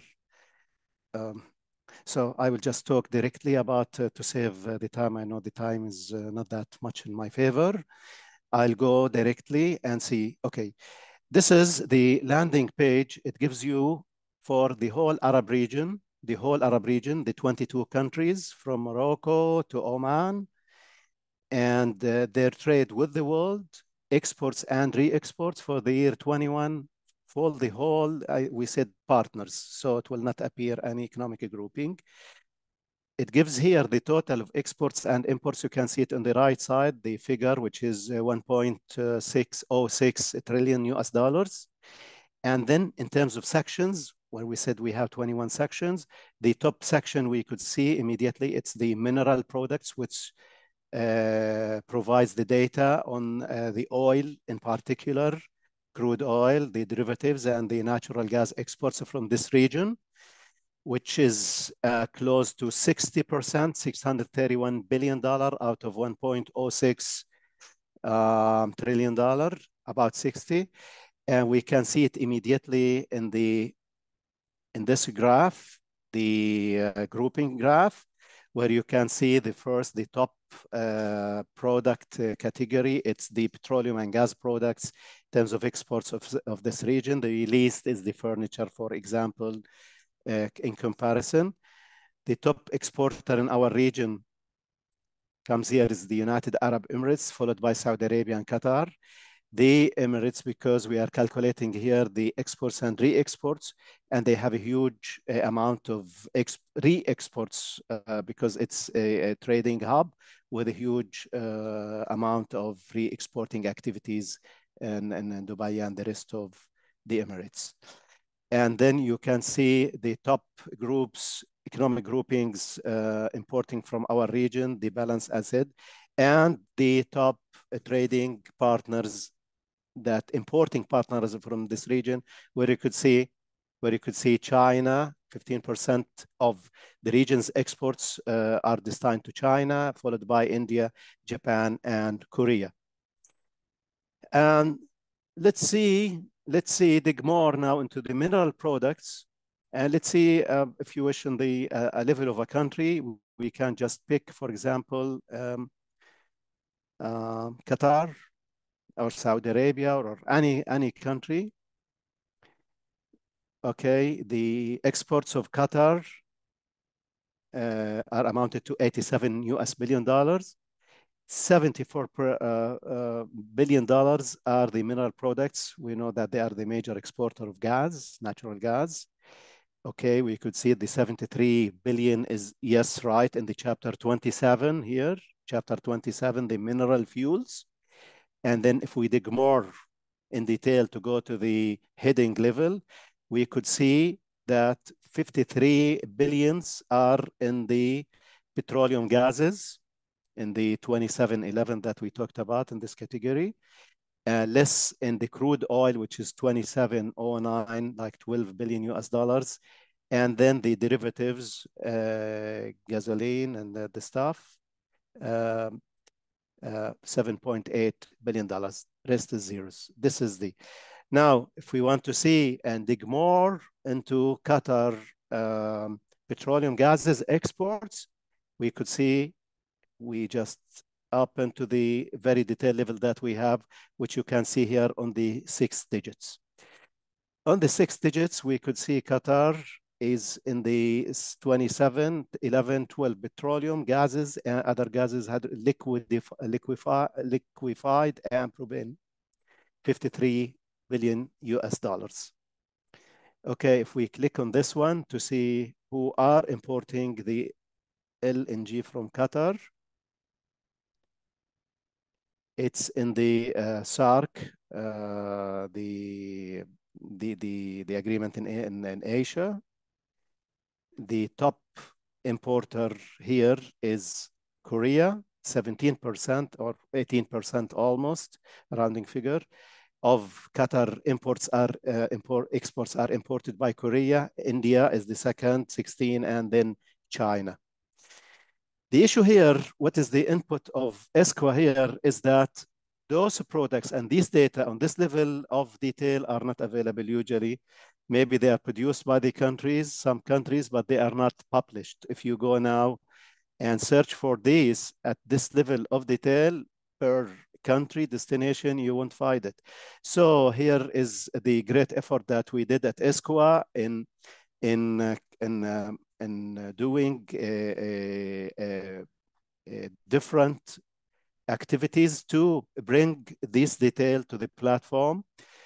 Uh, we reviewed uh, and review every time multiple sources to, to get the data, including the Comtrade uh, partner data trade, OPEC, and the um, different countries. I mean, not the national statistical offices, but the, the energy companies, the Ministry of Energies or Natural Resources, So we pay a lot of effort to bring this detail to the table, to, to this platform to be there. And that's, I think, one of the major contributions that this platform provides for its users. And uh, of course, uh, um, on the import side, let's say, let's say we want to to see for Qatar, not Qatar, but let's let's see one importing country for, for example, the renewable energy products. Let's see Jordan, for example. Okay. Deselect uh, Qatar and select Jordan. And let's deselect exports and select imports for the year 22 from the world. Let's see what is the code of, for example, the solar panels,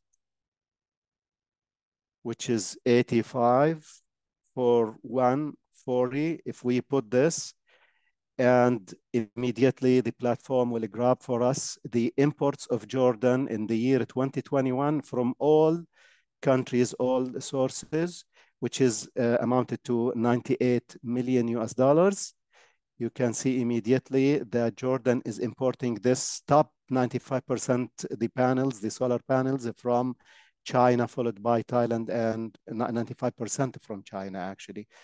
So, uh, and we can repeat this process for the any product that we wish to see. You don't need even to go to the, uh, sometimes to some of the presentation, the, the, visualizations, if you are getting just one product, because it will give you just this product, this. Uh, um, okay, if you want to see which is the most country, Arab country, for example, in our region, interested in developing their uh, solar energy uh, facilities. And so you just deselect, deselect here, the region will go to the Arab region and we'll say imports the same stay. And then we just click again on the HS code and we go and highlight this. We find the whole imports of solar panels to the Arab region in 2021 amounted to 1.12 billion US dollars.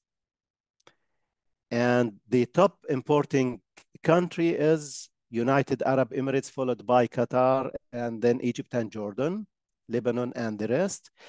Uh, why the Emirates? Because Arab Emirates also import not only for the needs of the uh, Emirati market, but they re-export, as we said in the beginning, they are a re-export hub for the region. So if you see, for example, here, re-exports, you can highlight here the re-exports, and I have a comment on this. Yes, we see in terms of re-exports, again, uh, Arab, uh, United Arab country is, is, is exporting a lot of, uh, uh of solar panels. Um, this is in a nutshell, in a hurry, uh, how do we reach to the data of energy uh, products, the different categories using our platform and the advantages it provides. Um, if I go back to my, this is um, this is the uh, electronic uh, website for our uh, platform, the ETDP at escwa.org. And this is my email. You can please uh, go through and if you have any questions, you can write or call to us or any of my colleagues, we can pass it and happily answer any question. Thank you so much. We have already one or two questions. I wanted really to take the small amount of time to to to to read because this is extremely rich uh, database that we are showing and uh, you talk about the classification uh, it's very interesting. Even from the point of view of data collection i see that one question for example from abir is uh, how do you collect the data that then feed the database? And what is the difference with the comtrade um, so how do you collect this data that they are so nicely displayed? And congratulations for the platform because it's impressive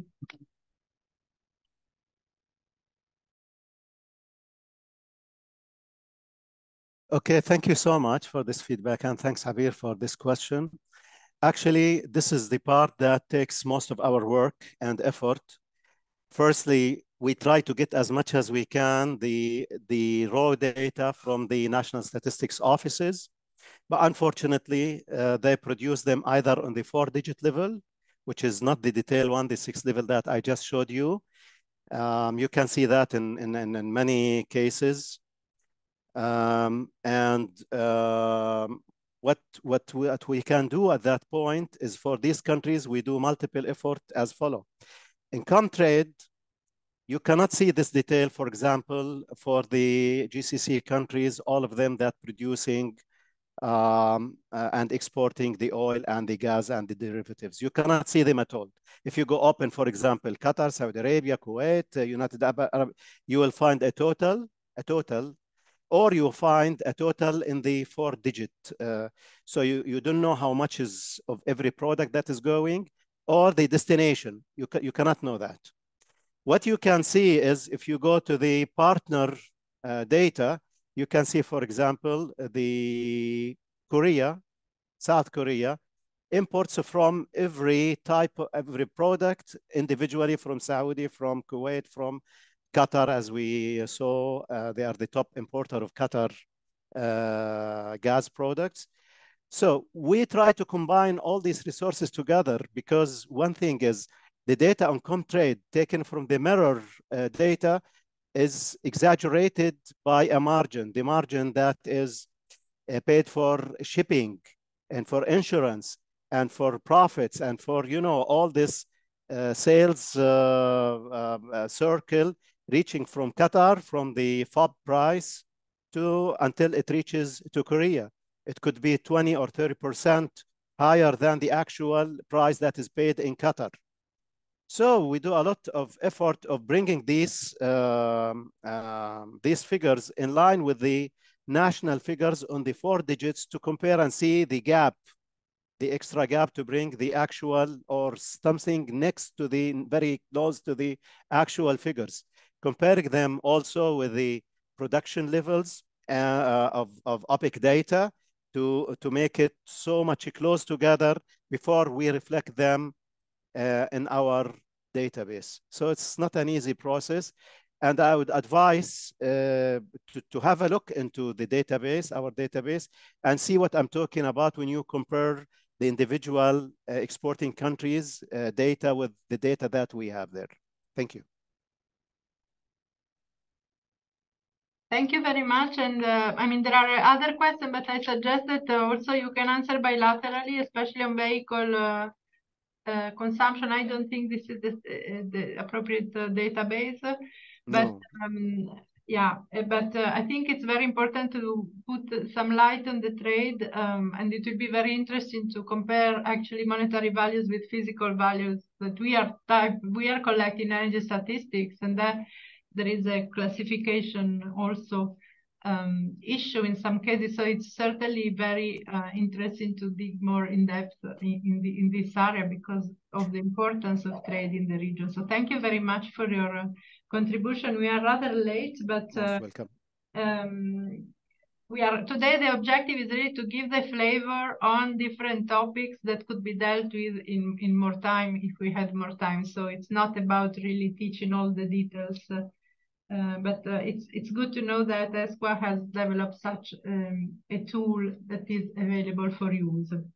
So I would like to invite our next speaker from RCREEE, um, um, if uh, you could also try to be uh, compact to the key messages on the renewable development in MENA. Um, I have, uh, um, I don't know if it is Nadia or if it is Eman Adel, um, probably Nadia, but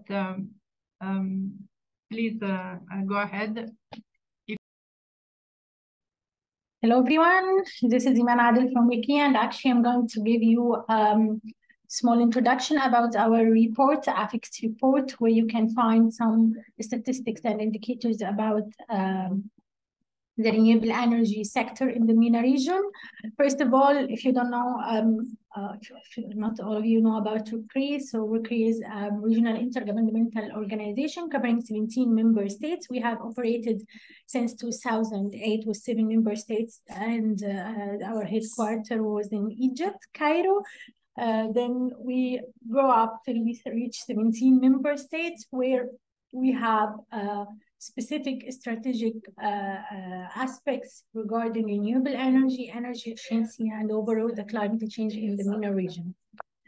Um, during the, the, the key work, we have a regular flagship report, which is the Arab uh, Future Energy Index AFEX, uh, one for renewable energy and another one for energy efficiency. And for the first time and in line with the long-lasting partnership with um, uh, the UN organization, the edition of the AFEX covers three pillars of sustainable energy for all, renewable energy, energy efficiency, and electricity access assessing the progress in the 20 Arab countries under more than 40 indicators focusing mainly on the policies and the strategies.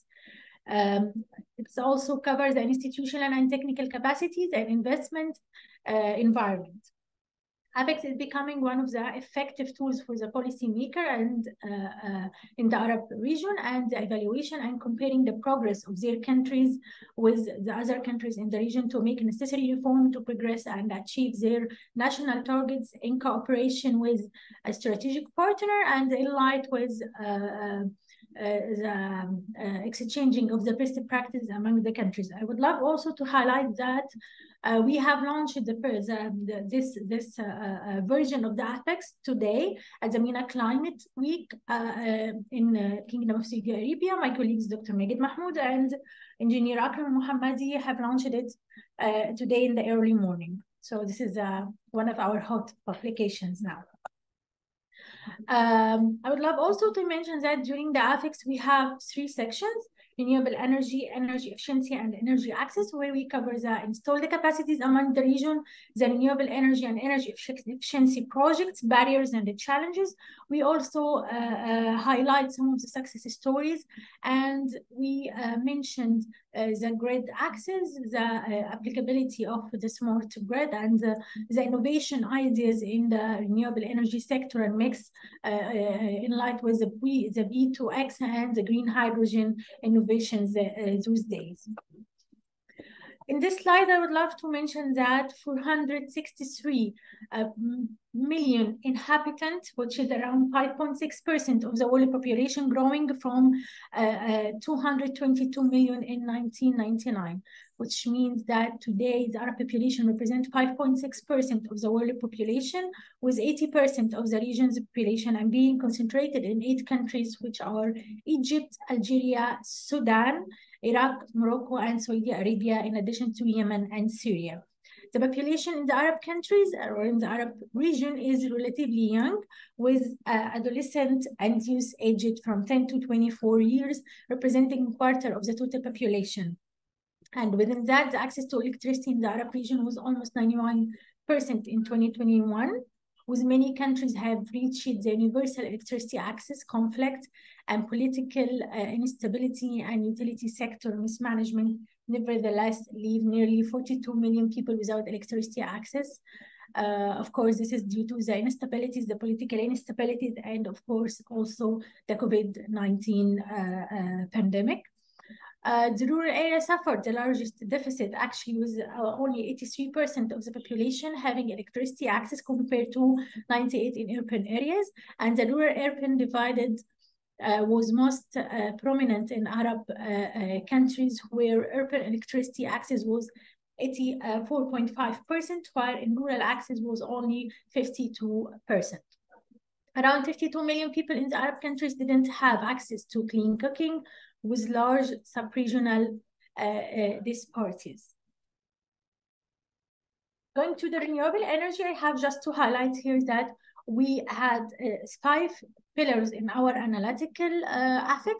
Uh, we uh, identify uh, uh, the market structure through the high-level indicators, then the policy framework. Of course, we highlighted also the institutional capacity and the overall financial and investment reforms in the Arab region, in addition to the final carbon emission and monitoring protocols.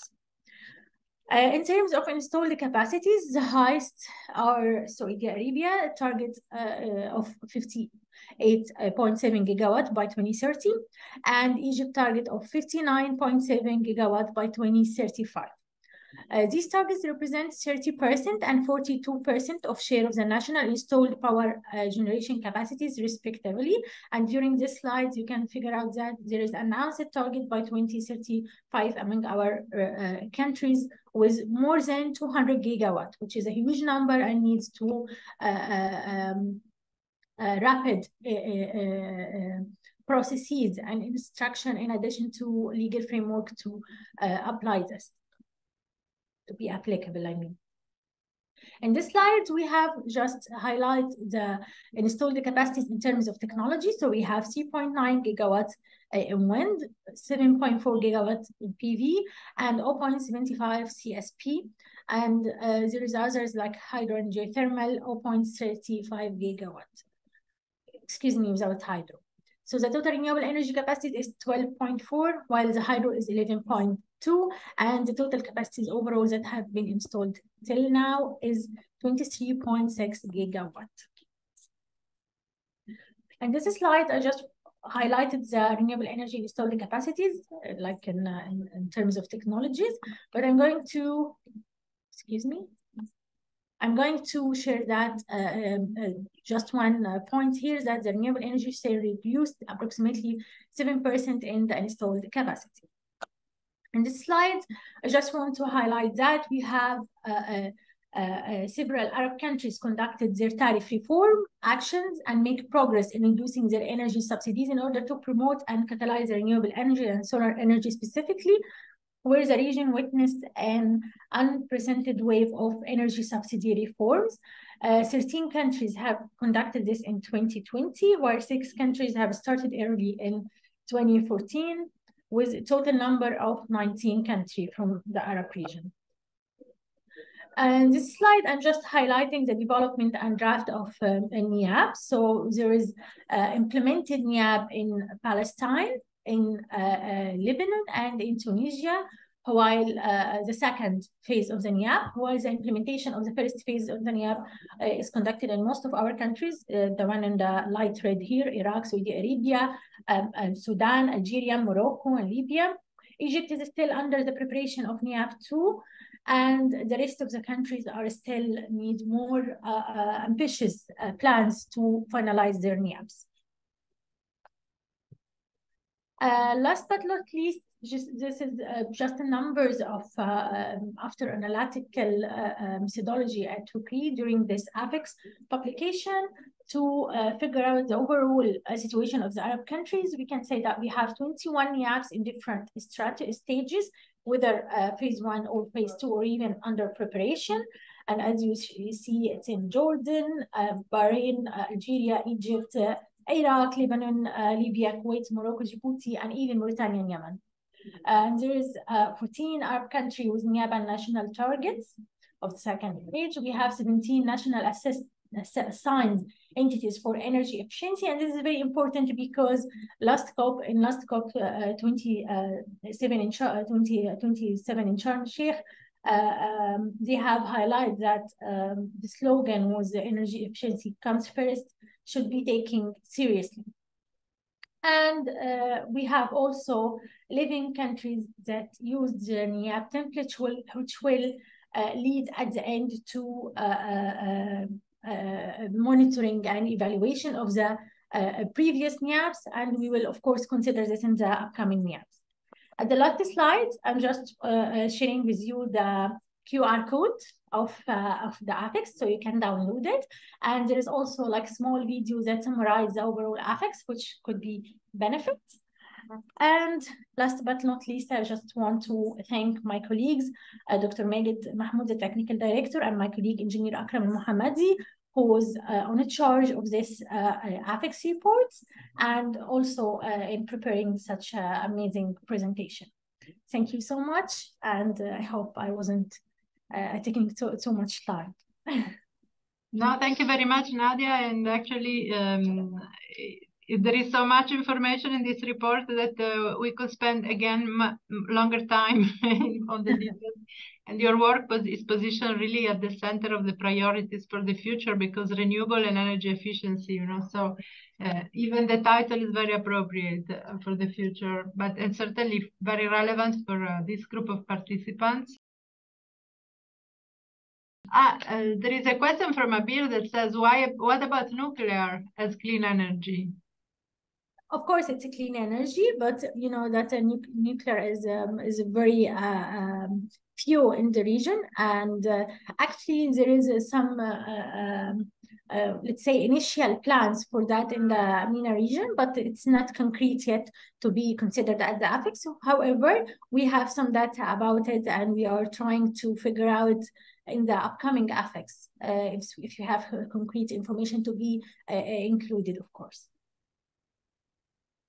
Ah, it's interesting to know that you are trying to look at that as well. Yeah, yes, of course, it should be. So I will thank you very much, um, Iman. thank you. Thank you so much for having me. It was my pleasure and honor to be part of this training today. And I would love to be uh, with you much more longer, but I have another commitment. Absolutely. I can join you later on. Thanks a lot. Thank you very much. And um, I'm very pleased also to move back to the session of the IEA because now we have um, um, we are back to a content on energy statistic and estimation of emissions uh, with our uh, uh, expert, Juha Kiokkoika, um, from the our group, the International Energy Agency Data Center. So from the balance, now we move to the estimation of emissions, which is so important, especially thinking of COP and uh, the transitions that we are moving into. Juha, please. Thank you much, Roberta. So yeah, welcome everybody to hear about the greenhouse gas emissions estimates estimations that uh, the IEA does, and also we are going to introduce a little bit the methodology that you can use. Uh, basically, first we start with uh, having a short uh, discussion about why it's important to collect uh, emissions data and track the climate targets. And then we go into the two different methodologies that are usable, sectoral and re reference approach, and then we have short conclusions. And basically, out of the source categories uh, in the 2006 IPCC guidelines for emissions estimates, uh, we define energy as so, uh, so that we have uh, fuel combustion activities, then we have fugitive emissions, and then we have also carbon dioxide transport and storage. So basically, uh, the category 1C here can also include uh, negative effect on emissions. So some carbon can be captured and there are some projects actually in the MENA region in Saudi Arabia and Qatar and the UAE on this also. And uh, as you can see here, uh, the source category of energy is uh, around three, qu three quarters of the total green, greenhouse gas emissions globally. So it's quite important and very important part when we look at the total uh, climate effects also of emissions. So that's why energy is uh, such a big focus on, on the climate discussion. Uh, one important thing when we talk about uh, global climate targets and uh, and measuring emissions globally is to have a harmonized uh, set of requirements. Basically, everything is based on the international recommendations on energy statistics, uh, which, uh, as you learned, is, is the basis for the energy balances.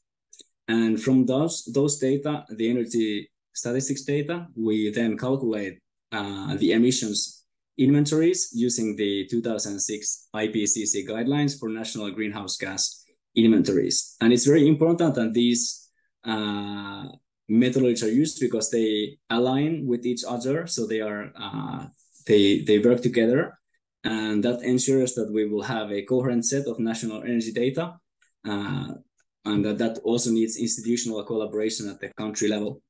Basically, the agencies or departments producing the energy data uh, will need to make sure that the same data is used also in the climate side of the government. Uh, I will not go to Menti for these questions necessarily to save some time, but basically one question to start with is uh, what is the highest emitter in, in MENA region, which sector? And could be transport, could be power generation, energy industry, could be industry, could be buildings. Uh, but the correct answer depends actually a bit on the country. For many countries, it's the power sector and the energy industries. But also for countries where uh, fossil fuels production is not as big part of the economy, actually transport and buildings also become very important. And something that we can also see here is that in countries where uh, fossil fuel sector is, is, is large, also the transport sector is uh, usually the second largest. And that's due to, for example, the fact that the production of, of fuels needs, needs also transportation of, of those fuels to different markets. So transportation of fuels is a big part also in these countries. Another uh, indicator that tells a bit about the economic uh, structure of the country is the carbon intensity of an economy. Basically means the emissions uh, divided by the purchase uh, power parity GDP of the country. and this gives an indicator of the uh, reliance on fossil fuels of the economy. And here we can see there is some uh, it, it, seems to coincide with countries where fossil fuel production is is large, but also there's some variance here also. Now to co continue to how do we estimate the emissions? Basically, there's two approaches. Uh, we can approach the emissions from supply side, or we can approach them from the demand side. And the 2006 IPCC guidelines uh, give us two approaches for estimating fuel combustion emissions, which are basically the sectoral approach, which is a bottom-up approach. So basically from economic activity, uh, so demand uh, to emissions, and we have basically we have different sectors and we have different products and the transformation and final consumption for each of those. And from that, we can uh, estimate emissions for all greenhouse gases. Uh, and then we have reference approach, which is top down, so from the energy supply side. And of course, this is less granular uh, approach, and it can only account for CO2 emissions from fuel combustion. Uh, when we go to, uh, when we start looking into fuel combustion more, uh, we can see that it's uh, actually divided, can be divided in the subcategories let's say energy industries, manufacturing, transport, and all of these, as you see, can be split even to uh, smaller categories, which is important in the sectoral approach to have uh, the, that granularity of different consumption. And then we see, the fugitive emission side and carbon capture side, there's also some split in the different uh, categories. When going to the separate sectoral approach, uh, the main idea here is that when you have a fossil fuel, here a simple example of methane, uh, which con contains one carbon atom. When you combust that, uh, you add oxygen to it, and basically you get the result where the carbon is conserved. So here you can see one molecule of CO2 and then two molecules of water. And um, based on the these, because we know the chemical principles, we can estimate when you know when we know the mass of carbon contained in the in the fuel, uh, and we know know that the carbon will be preserved in the reaction. Uh, we also know the uh, mass of greenhouse greenhouse gases that's produced in the the combustion, and this basically gives us the emission factor, and which tells like how much uh, greenhouse gases are released per a unit of fuel combusted and traditionally, usually in the sectoral approach, instead of mass of fuel, we use the energy contained in the fuel. So that's how we derive the emission factor. And how we use that in the sectoral approach in the tier one methodology is that basically we have a sum of all of the all of the fuels, and and, and for each fuel we have uh, the emission factor of the fuel times the consumption of the fuel times the net calorific value of the fuel. And this gives us the emissions from that fuel. And basically, uh, we, as it's a bottom-up approach, we include total final consumption, so combustion happen, happening in industry, in residential, etc., but also the input into, into electricity and heat production, and their own use, because uh, of course the energy industry also uh, uses fuels uh, to power their own processes. So that needs to be accounted to for. And the net caloric value here basically means uh, the practical amount of energy received uh, when the fuel is combusted, or the usable amount of energy received. Uh, this question we're gonna be, I'll, I'll quickly run you through it, but we don't go to Menti here. So if you have a car that combusts five kilogram of uh, motor gasoline per 100 kilometer, how many tons of uh, CO2 will be emitted in a thousand kilometer trip? So basically we here know that uh, in, in thousand kilometer trip, we will have uh, 10 times the amount of fuel, so 50 kilograms. And then we could uh, multiply that with the uh, net caloric calorific value of uh, 44 megajoules, and then again multiply that with the CO2 emission factor of, of motor gasoline, and we will get to the first answer of 220 tons of CO2. So that's basically a simple uh, example of how to estimate emissions using the sectoral approach. Then uh, going to next topic, uh, fugitive emissions. And these don't come from fuel combustion, but these are actually leaks of gases and vapors and uh, mostly uh, unintentional or at least uh, irregular. So these happen can happen during the ex extraction and exploration of fuels, the transmission and distribution, can be flaring and venting, can be happening in the refining and processing, and so on. And how do we how can we estimate this? Well, th that becomes a bit trickier because there's different kinds of activities, can be volume of flaring, can be number of abandoned mines where gases are leaked, uh, can be, we can try to have a factor for refinery throughput, we can have pipeline capacity, and all of these will be specific also to the category of fugitive emissions, so solid fuels, liquid, liquid fuels, etc. Uh, so basically, the lowest tier methodology here would be to have activity data. So let's say a uh, number of abandoned mines, and then a factor for if you have X number of abandoned mines, uh, how many, how much uh, is the leakage from one mine, for example, on average, and then you could arrive to a estimate of the total emissions.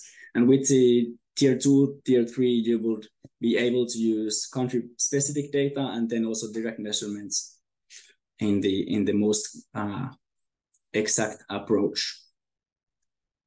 For the reference approach, so this is the supply side approach, uh, where we previously for the sectoral approach had the idea of uh, carbon uh, conservation. Here we are using the idea of mass conservation basically all carbon that's input into the national economy, uh, either by production or imports, is 100% considered uh, to be released in the atmosphere or diverted, so stored in the products uh, in, in fuel stocks. And basically here we think that like 100% will be combusted. So that's not as accurate uh, as the sectoral approach, but it's it can be used for a benchmark to verify the results of the sectoral approach because even though we would expect these approaches to produce slightly different results, uh, we wouldn't expect them to be crazy much uh, apart from each other. And this the thing with reference approach is because we only assume all carbon to be uh, combustion and turned into CO2, we only get CO2 emissions from this approach. And one thing to remember for countries where biomass use is, is, is uh, large uh, is to remember that the CO2 emissions from biomass combustion, they are not included in the energy sector or energy uh, category emissions, but instead they go to agricultural, forestry, and land use sector. Uh, but the C, like the methane and nitrous oxide emissions should in, in turn be estimated into the emissions uh, emissions category because those are not estimated in the agriculture and forestry and land use sector.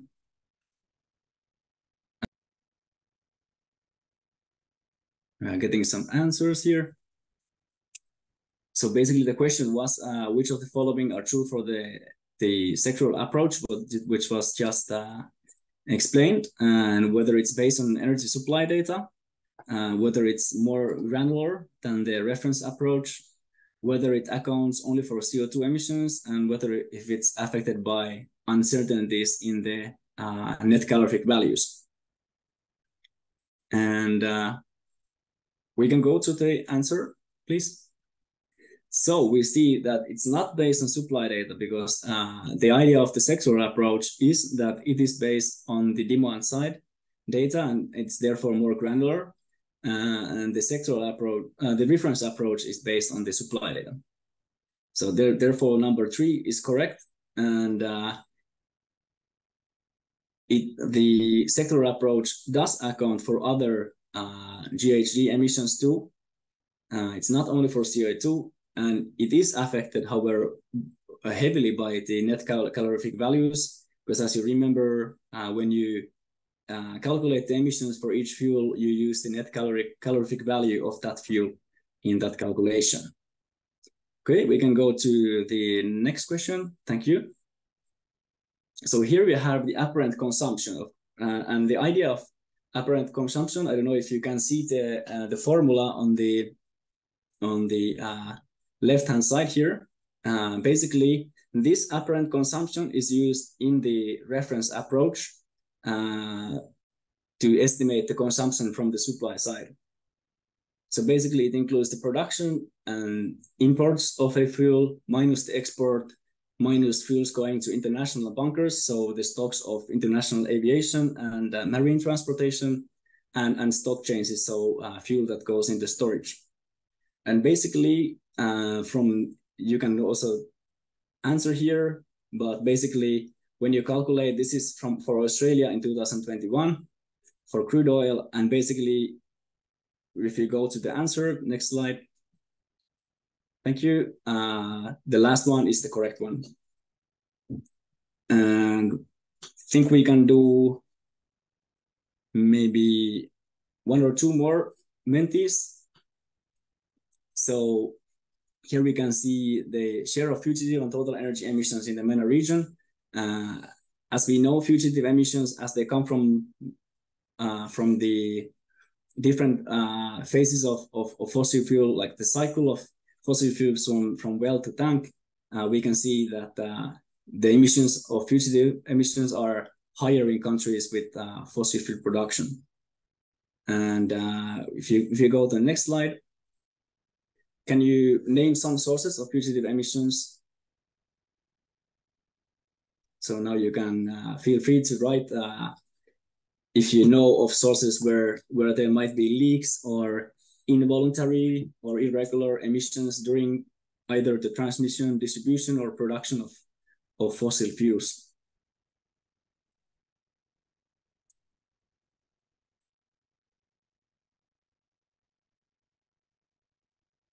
Yes, all all all true. Well, agriculture, the emissions for agriculture go to their own uh, category, but basically, if it's if it's a leak of of uh, so basically, for example, a truck, the full full combust fuel combustion of, of a truck is not considered fugitive, but if there is let's say if the container on the truck is is some somehow open and leaking oil or gas, that will that will be fugitive emission. And same for agriculture. If it's this kind of, of leak, it could be there. Okay, pipelines. Pipelines are, are, are important part in here. Uh, possible leaks of pipelines.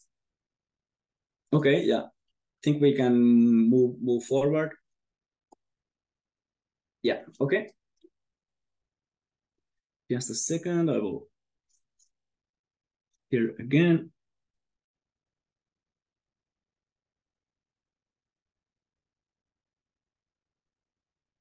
All good.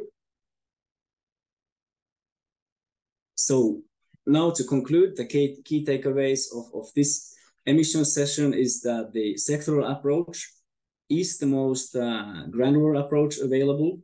Uh, and by using that, uh, and then checking it with the reference approach, uh, there's a good chance that if there are some problems with the data, for example, the differences uh, in those approaches could point to this and those uh, challenges in the data could could, have, could be identified.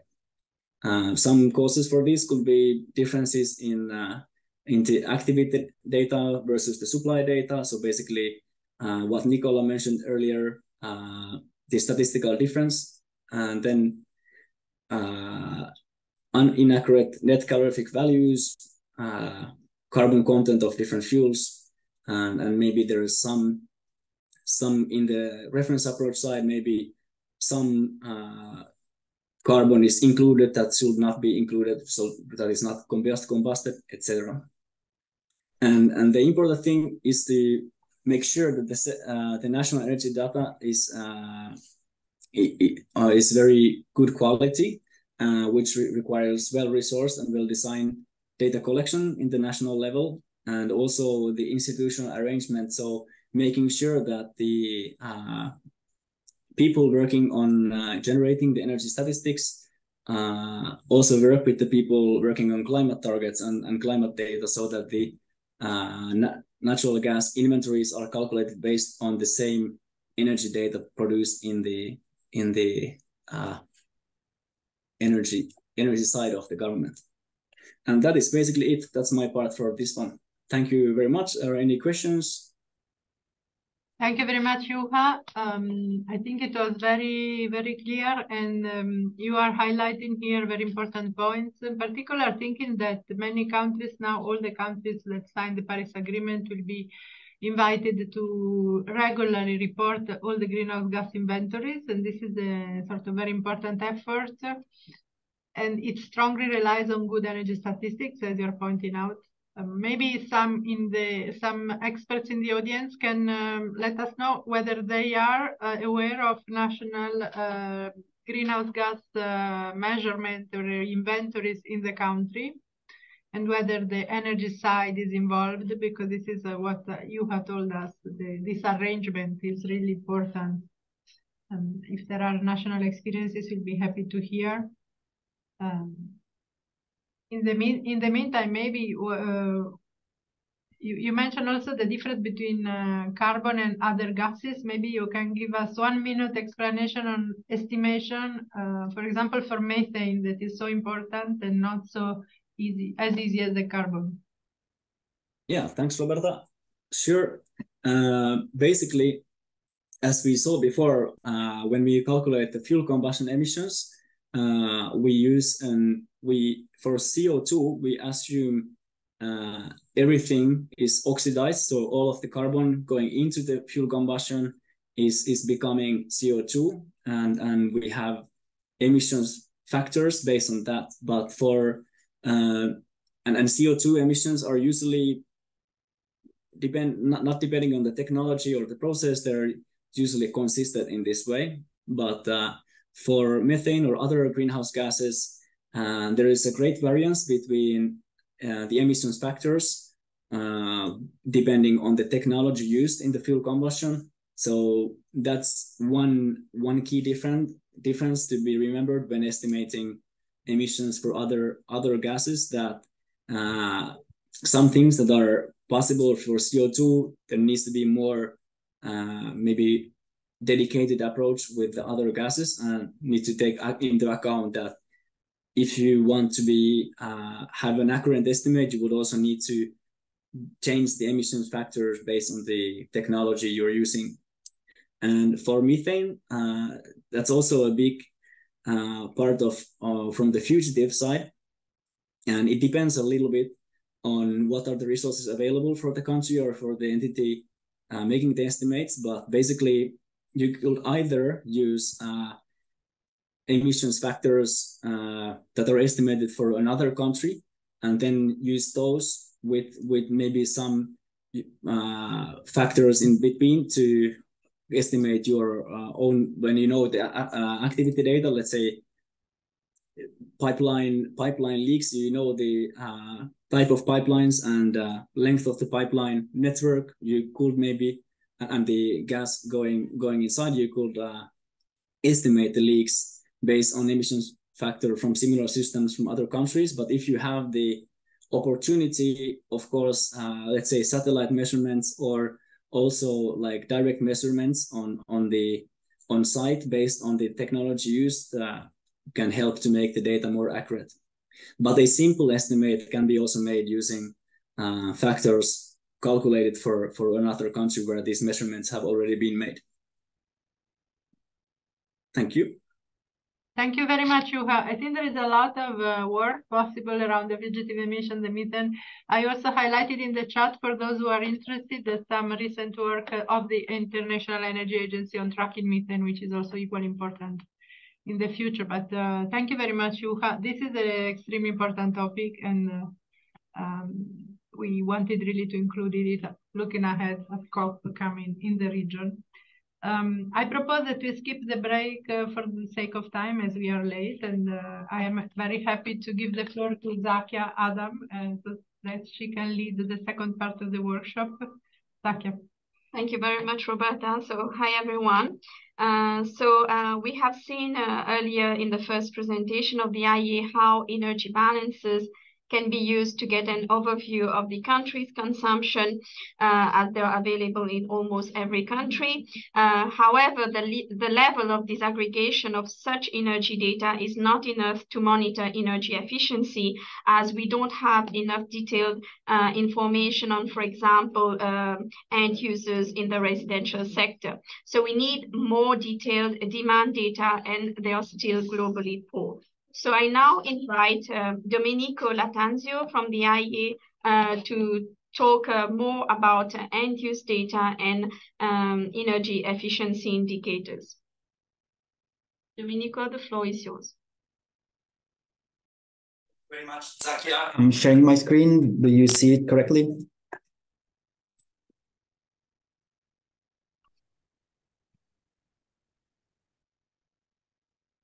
And can you hear me? Yes, okay. Thank you very much. Good morning, I'm Domenico Lattanzio, and I'm Statistics Manager at the International Energy Agency, leading the team responsible for the data collection on energy end uses and efficiency data. And today with this presentation, I'm going to present what Zakia just mentioned. So the ongoing work on of the efficiency team on disaggregated energy end use uses and efficiency indicators. This is very important to understand better what's happening in our countries. First of all, what is energy efficiency? Well, the simple definition of energy efficiency is that energy efficiency is using less energy to provide the same service. This sentence will be our light throughout the presentation. Why energy efficiency is so important? Well, we um, here at the IEA, we estimate that 40% of the reduction of the energy-related greenhouse gases emissions will come from efficiency. 40%. So it is worth creating some metrics to track it. But energy efficiency means also much more. We have um, different benefits from imp improving our energy efficiency. It has different implications in our society and our economy. It increases, for instance, um, energy security. Having less need of imports, I'm less dependent on the importing countries. In general, it affects also prices. If we have less demand of a specific energy commodity uh, with the same offer, the price decreases. And then it increases industrial productivity. Industries that invest in reducing their energy input are more resilient and competitive in the market. It increases also the employment. Most of the time, improving efficiency means employing more people. Let's think about all the renovation of the housing ongoing in different parts of the world. It brings home energy efficiency and it requires employees in the construction sectors and much more. There are no silver bullets in the energy world, but energy efficiency is what gets closer to be the silver bullet. Why then disaggregated data are key? Well, because you get what you measure. As you have seen the presentation of balances and all the presentations throughout the day, uh, balances are full of very interesting uh, information and input to policies. The balance gives me the overall energy behavior of the country, but we need to further disaggregate the data to draft tailored uh, policies. For instance, if you realize that the energy consumption for the residential sector represents a big share of the energy consumption in the country, I need to assess who is driving this consumption to be able to tackle it and reduce it. Is it cooking? Is it water heating? Or is it cooling? I need disaggregated data and indicators to, to, set the starting line and to assess and verify the, the final result of, our, of my policy. How to build energy efficiency indicators, what we can learn from, learn from them. So as we have seen, we once we have disaggregated energy consumption by end use, we need to create our indicator we used to define the indicators as energy consumption by end use divided by the relevant activity. So for instance, we can have an um, energy use for heating divided by space floor, uh, or we can have some indicators based on the production, the industrial production of a specific industry. Here, it's what, what we identify as the pyramid of our energy efficiency indicators. And from the top to the bottom, you have different levels of energy indicators. With the very top one, which is a very uh, a first proxy of the energy uh, efficiency indicators. So this is the fi total final consumption divided by GDP. This is not an energy efficiency indicator per se, but is the best proxy that we have whenever we don't have further disaggregation. Here at uh, the energy um, data center of the IEA, we have this data collection on indicators and we collect di different end use data to be able to create those uh, indicators at, at level of the energy intensity. So let's have a look what um, why this is important. So here is the index of the total residential consumption for a specific country. The blue line is at the top, represents the total residential consumption. It seems that across the years, it increases by 1%. But let's dig down and understand through the indicators if this is the reality. If we dig a bit down and then we create the first indicator, we can, we can have the dark blue line, which is the total residential per capita. And we can already see that actually the consumption tracked by this indicator decreased. So the, the consumption by population decreased. If we further dig down in uh, creating more accurate indicators and we get to the yellow line, which is the, the last one, we can see that residential space heating per floor area, which is the best indicator we can have for space heating, actually decreased by 25%. So the first light blue line and the yellow line are telling two different stories. With the yellow line, uh, we have a clear understanding of what's happening in the country, and we have more elements to say that energy efficiency actually increased in, uh, in the IEA during this period. We have then disentangled activity and structure and all the drivers that, uh, that influences the total final consumption. So let's see how we uh, identify the different uh, drivers, so different activities and the different end uses across the four subsectors that we, we track. So for industry, we have a number of industries that we, we track, come spanning from iron and steel to textile and going through automotive and pulp and paper. Those divisions are uh, more than the ones that in, are included in the normal balances. And therefore, to create the indicator that we have uh, mentioned before, we need activity data that we identify as value added or physical production for uh, uh, industries such as the, the, cement, the cement or the steel industry. Here, some examples of the possible indicators that we can create with the, with the uh, data that we collect. On the left-hand side, we have the energy intensity per ton of, ton of cement for the cement industry. And on the right-hand side, we have the energy intensity, intensity per value added for the same industry. Those two indicators are complementary and they can show um, they, can, they can show two different uh, information and give us more uh, uh, more information on the on the sector. Going to residential. For the residential, we distinguish end uses. As we have uh, mentioned before, we can identify space heating, space cooling, water heating, lighting, cooking, and appliances. The activity for this sector is uh, namely residential floor area, occupied dwellings, or population, and for some end uses appliances stock. We need to uh, pay particular attention to this sector because when we identify and we create an indicator, we need also to uh, select the right activity data. For this sector, what we want to, to have is the occupied dwellings, dwellings because we don't want to overestimate the uh, energy consumption of the average dwelling uh, dividing by uh, a larger number, which are unoccupied dwellings and vacation homes. So we need really to identify who is the driver. For this sector is the occupied dwelling. And here are some examples of the uh, uh, the energy efficiency indicators for all the, those uh, end uses. Then transport. We distinguish transport segments and transport modes. So we have distinguished between passenger and freight, which is a difference that we cannot do with the balances, and then transport modes, road, air, rail, and water. And then we use the activity data that uh, namely is the passenger kilometer data and the ton kilometer um, uh, data. So this is a measure of how much the people have moved during the year in the country or how much the the load, how much the the tons have moved in uh, have moved in the country.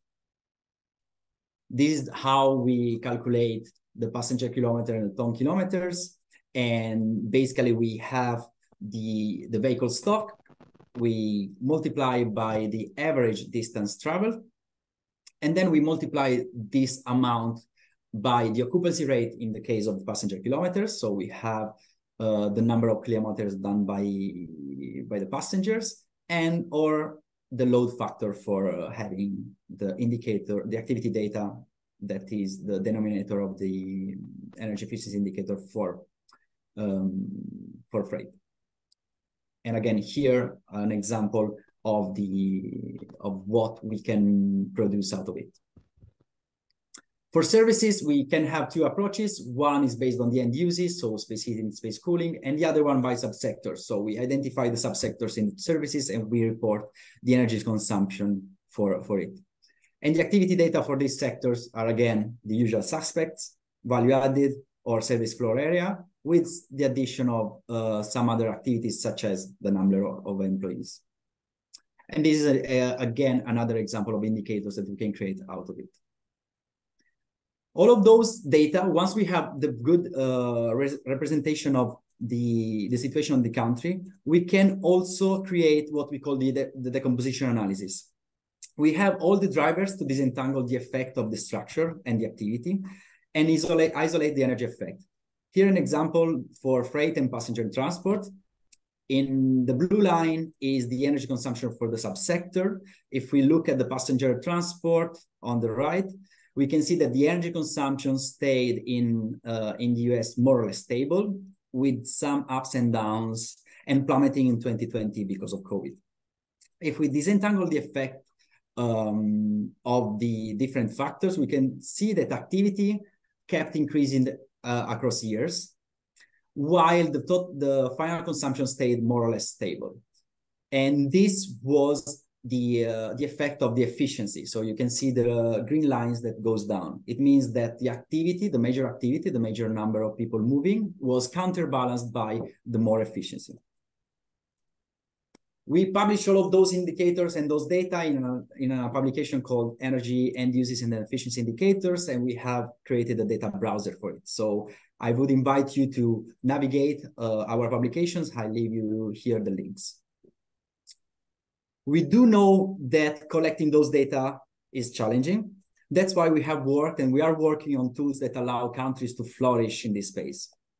The first tool is the Energy Efficiency Roadmap, this is a paper that will help country to identify gaps and institutional arrangements.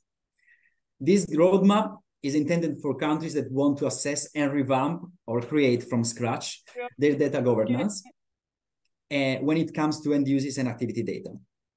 Most of the uh, okay. Most of the time, those data sit in different institutions, not always the energy ministry. I, I hear some feedback. Okay.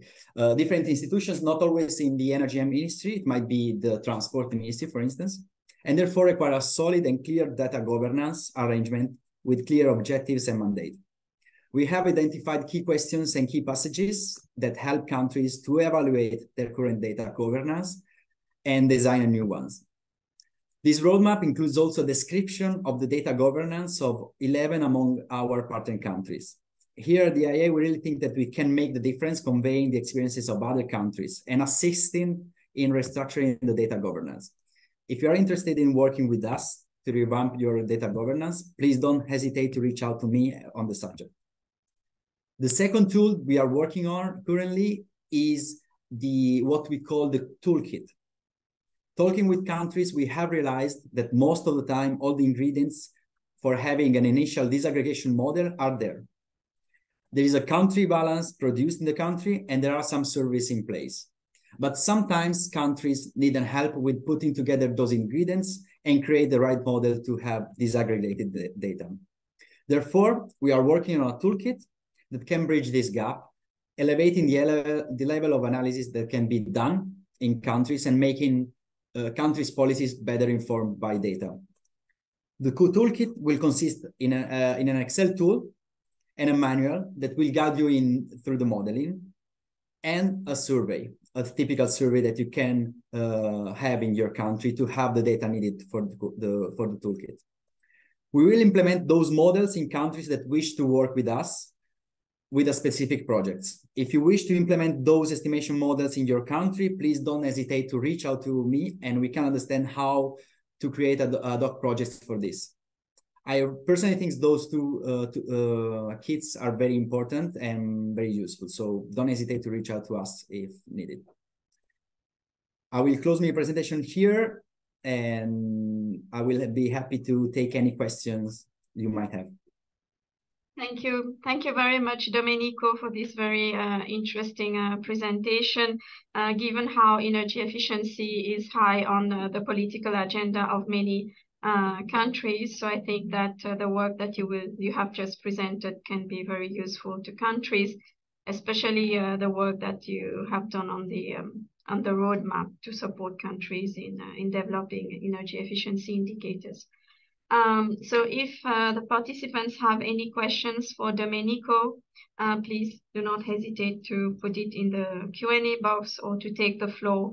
Um, especially, we are very interested to hear from countries if you are currently uh, developing um, such data on energy efficiency indicators or if you're interested in uh, working uh, on this uh, area and how you can let us know also how we can support you uh, if there's any interest on your side to, to work with the IEA on developing those indicators.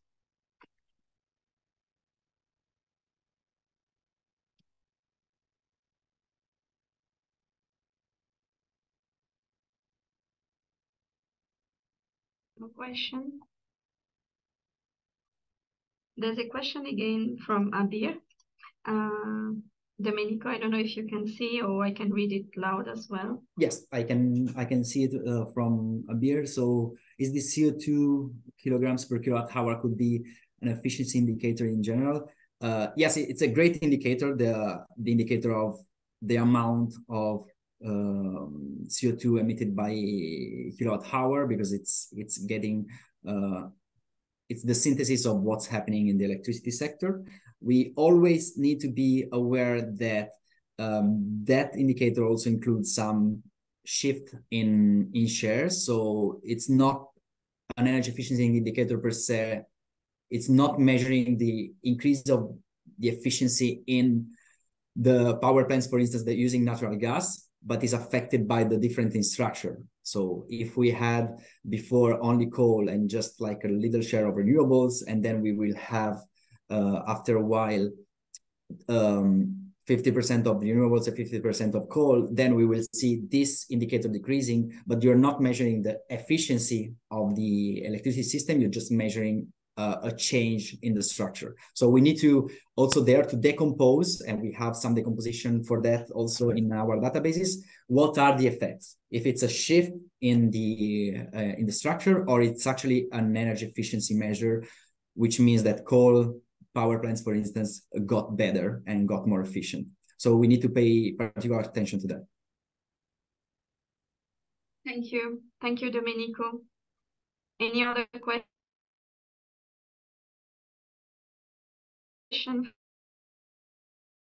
for Domenico? I think then um, uh, anyway you can con you can contact Domenico. I think he he can share his email uh, through the through the chat. Uh, and now um, I propose that we move to UN ESCWA presentation. Uh, we have seen earlier with the presentation from RCREEE how renewable energy such as solar PV has seen a considerable uptake in the MENA region in the past years. And uh, however, it's still very difficult to collect data uh, on their use, but there are some uh, new data sources and methodologies that can be used. And uh, so um, if it's still possible, I invite Mr. Christoph Rouhana from UN ESCWA to, to present um, on how to estimate solar energy.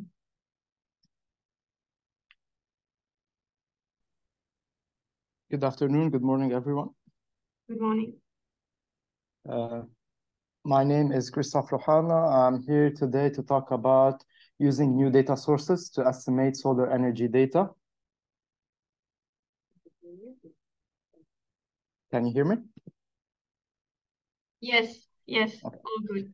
Uh, so uh, solar energy is a rapidly growing source of renewable energy, and it is important to have accurate and timely data on solar energy potential and generation. Uh, this data can be used to make informed decisions about solar energy deployment, uh, grid integration, and energy policy. Uh, it's a growing source of renewable energy in the MENA region. However, estimating solar energy can be challenging to, due to the lack of traditional data sources. Uh, here I'll explain, uh, actually I'll give a brief uh, on the content of the presentation. First, I'll tackle the new data sources for solar energy estimation.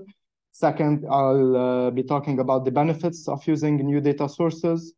Uh, I'll give an example on Esri GeoAI tool on solar panel detection. Uh, as well, I'll give a, a list of open sources tools for solar panel detection a couple of case studies, uh, the challenges and the opportunities uh, for using the new sources of uh, collecting data. So for the new data sources for solar energy estimation, let's dive deeper into these data sources that are enhancing our ability to estimate solar energy potential. First, there is uh, satellite imagery. This is a powerful tool in our arsenal through satellite imagery, we can identify where solar panels are being installed around the globe. Not just that, it allows us to estimate the potential solar energy of a particular area and keep track of solar growth, of solar energy adoption. The vastness of space giving us insight about our own planet. Quite fascinating, isn't it? Uh, then there is weather data. This is crucial. Solar energy, after all, is significantly impacted by the weather. By analyzing weather patterns and data, uh, we can make informed prediction about solar energy generation. Additionally, this data aids us in identifying prime spots that are mostly conductive for solar development. Uh, there is uh, IoT, Internet of Things data. In the era of connected devices, our uh, very solar our very solar panels are becoming smarter. Through IoT or uh, or Internet of Things, we can meticulously track the change, uh, the energy generation and performance metrics of individual solar panels. And with machine learning in play, we can process vast amount of data from these devices to precisely estimate solar energy potential. As well, there is social media data. Now, uh, this might uh, come as a surprise to some, but social media can be a goldmine of information. It can be used to identify areas where there is interest in solar energy. As well, there is crowdsourced data Last but by no means least, we have the power of the crowd. People across the globe are contributing uh, data on solar panel installation and their respective energy outputs. Uh, the, this grassroots level information can provide us with invaluable insights and ground truth.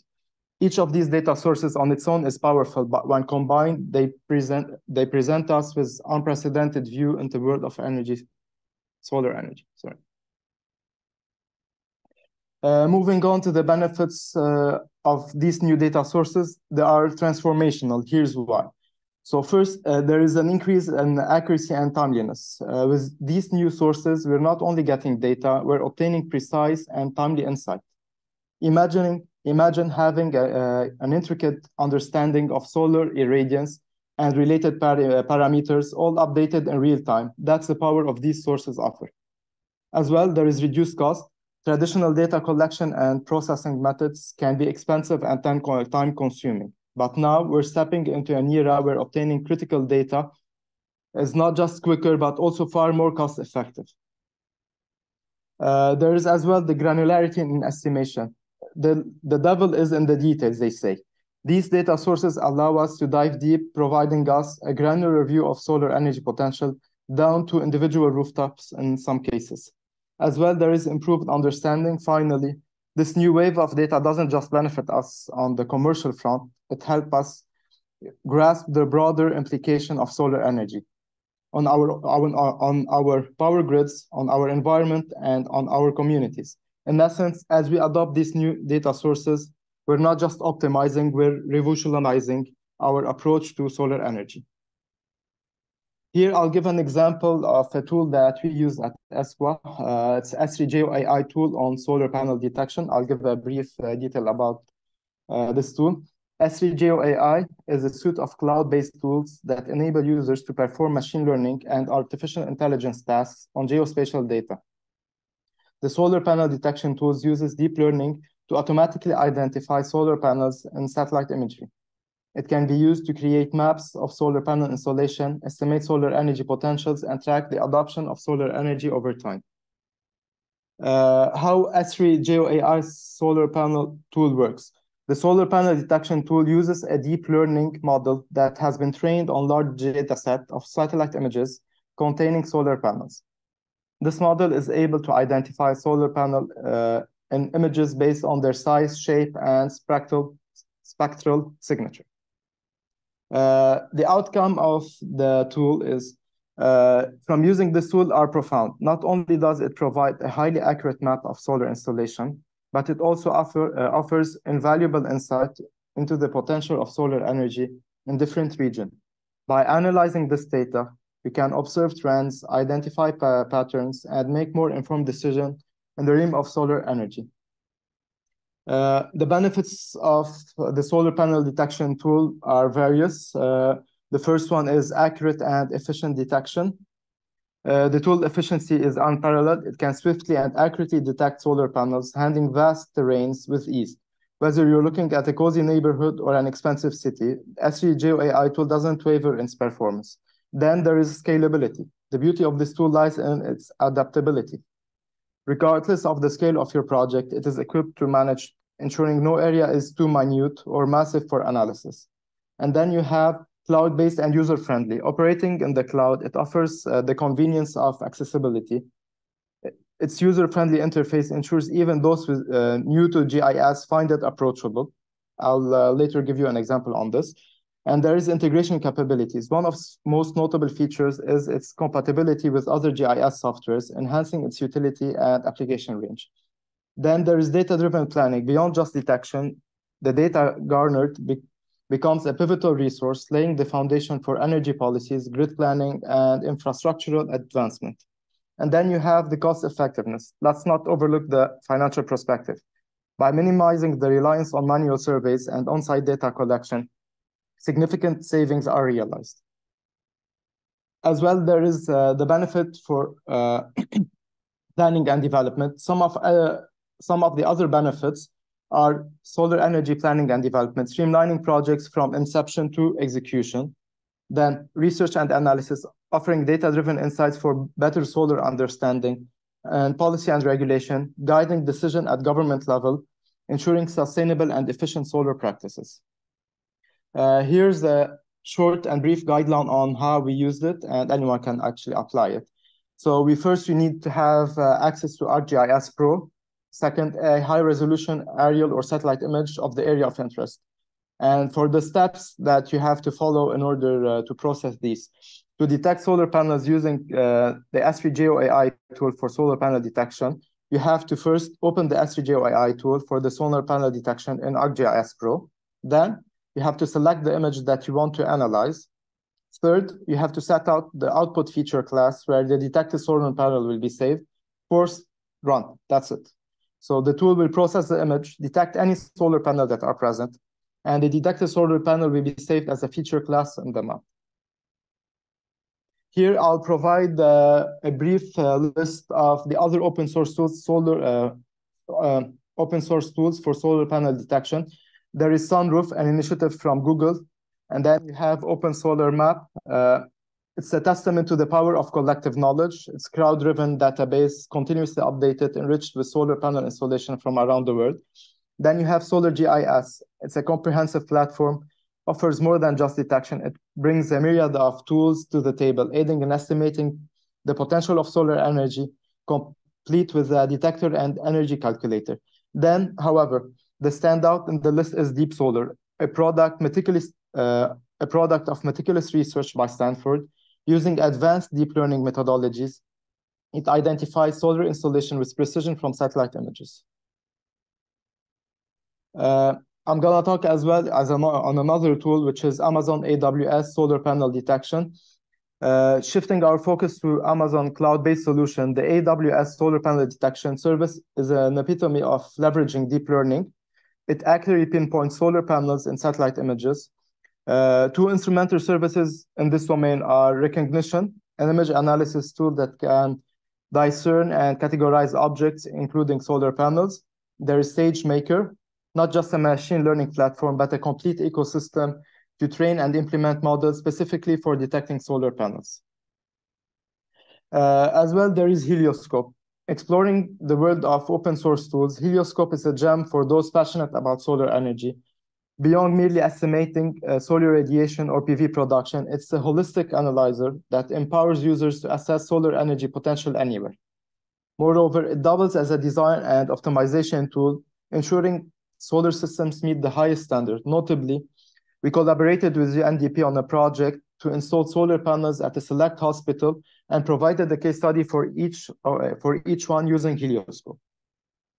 Uh, another tool or new method of collecting data, which is web scraping, can be used to collect information on solar energy announcement, such as new solar project and government incentive. This information can be used to improve the accuracy uh, of the solar energy estimates.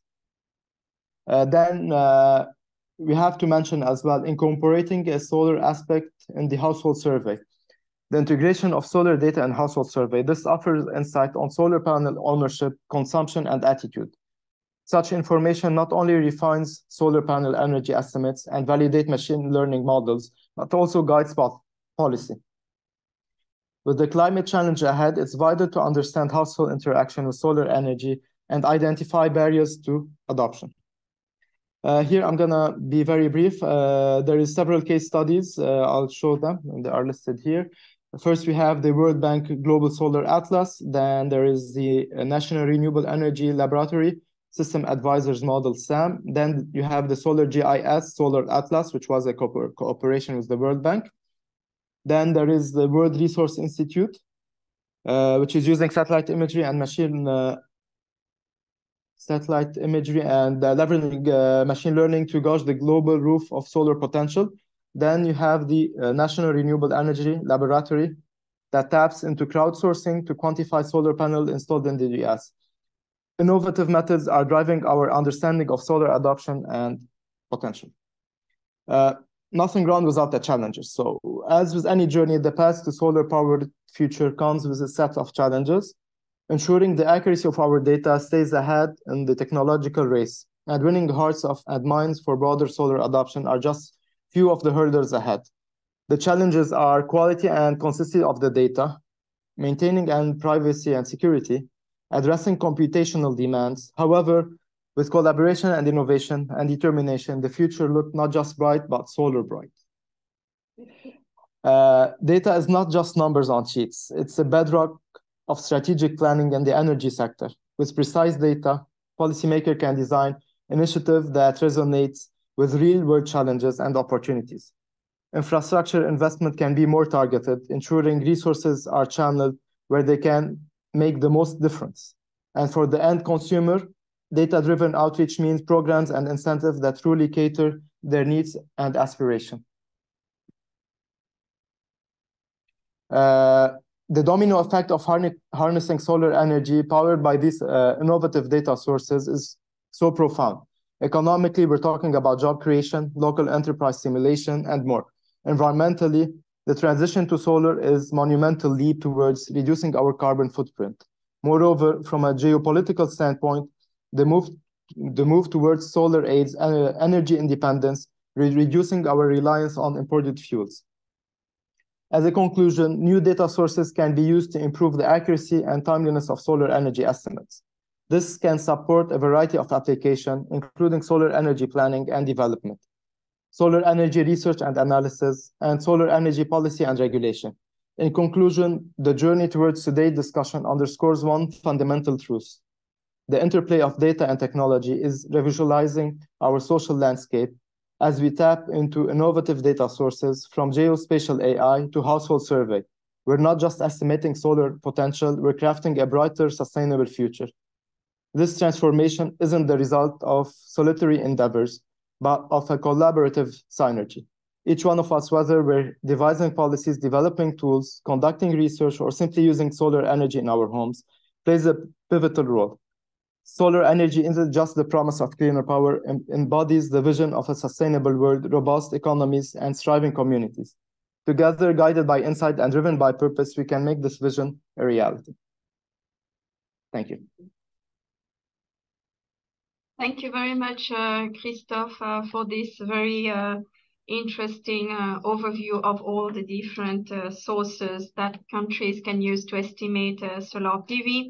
Um, this looks very promising, and I, I hope that there will be trainings to support countries in using, in learning how to use those tools and, and to apply them. Um, I don't know if you have time to take some questions and um, I, yes, okay. Yeah. So I see there's a question from Abir. Uh, did you do any verification between the output from the tool and the actual ground data, for example, mainly for the huge solar plants? Uh, yes, so we have so we have data for uh, solar solar farms in the Middle East, and we did a test uh, in Lebanon on what we got. So the machine learning model is trained well.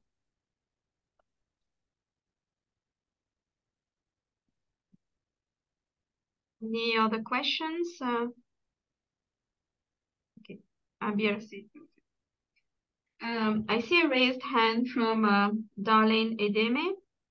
Um, Darlene, can you unmute yourself? Yes, can you hear me? Yes. Yeah, uh, so thank you very much for the presentation. Very, very interesting. Uh, I just had a curiosity with respect to the web scraping uh, approach that was presented quickly in a slide. I was just curious to understand what's the methodology there first.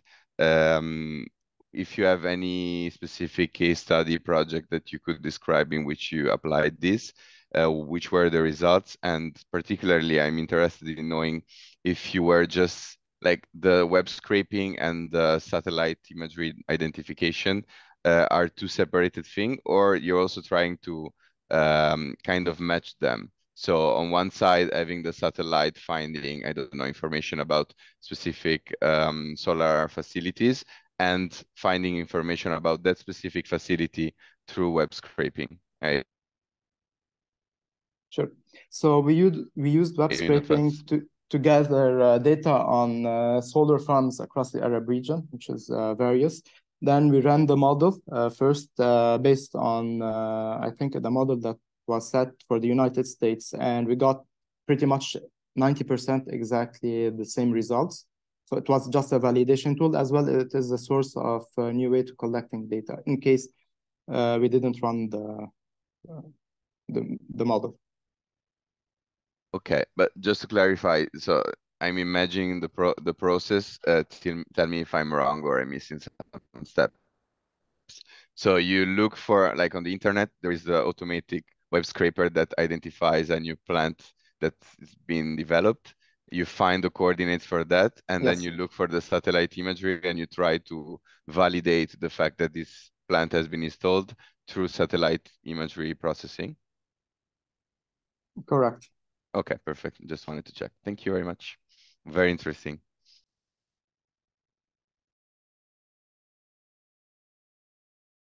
Thank you very much, Darlene. Uh, I see there's also another question uh, in the chat um, from Seydou. So uh, the question is, since you use the characteristics of the spectrum of the images, can the deep learning models you presented differentiate the installed solar modules by type of technology? Polycrystalline, monocrystalline, and amorphous? Unfortunately, no.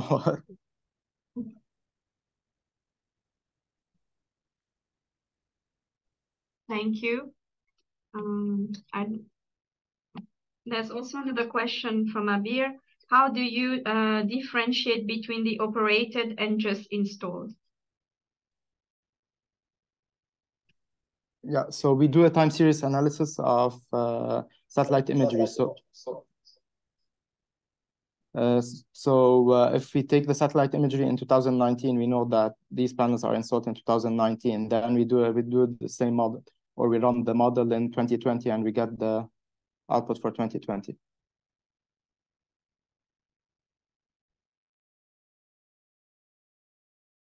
Thank you, Christoph. Um, I think uh, on the question side, uh, that's it.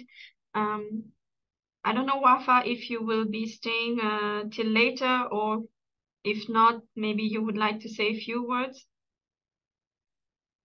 Um, we cannot hear you. I will I will stay uh, just to see with our participants if there's anything that you know we can help with. So I'm I'm on. Thank you very much. Great, thank you. Um, so thank you again, Christoph, for this very uh, interesting and innovative presentation. And now we will move on to the next uh, presentation um, on uh, energy prices. So as we have seen, energy prices have uh, followed significant events uh, uh, since the past years. last year itself, following the energy crisis, we have seen how energy prices have spiked uh, significantly in most countries of the world. And at the IEA, we work very closely with governments in order to collect energy prices across not only member countries, but also from non-member countries. And uh, today I invite uh, Pedro uh, Carvalho from the IEA to talk more about um, the work that he's, uh, he's doing on energy prices and also the methodology of the IEA for prices uh, data. Over to you, Pedro. Hi, Zakia. Thank you very much. So today I'm going to be talking about energy prices and the work we do here in the IEA and the Energy Data Center. So I'm Pedro, and this is our agenda for the prices presentation. And firstly, I'll go through some recent trends. Then I'll talk about the IEA methodology, uh, then a little bit about the database and some key points to remember. So when we speak about energy prices, uh, we are talking about uh, basically how real events can affect uh, energy products prices. So for example, in this in, in this graph that you're seeing the screen, uh, you can see the the crude oil Brent trend over the time and how the the events affected its prices. So you had the oversupply and also more recently the COVID and also some uh, recent hikes in, in Europe in general, for example.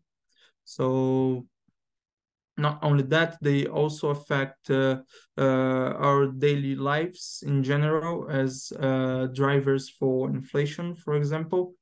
And here uh, we collected a few headlines from uh, inflation and in Saudi Arabia or fuel prices in Morocco or here in France as well.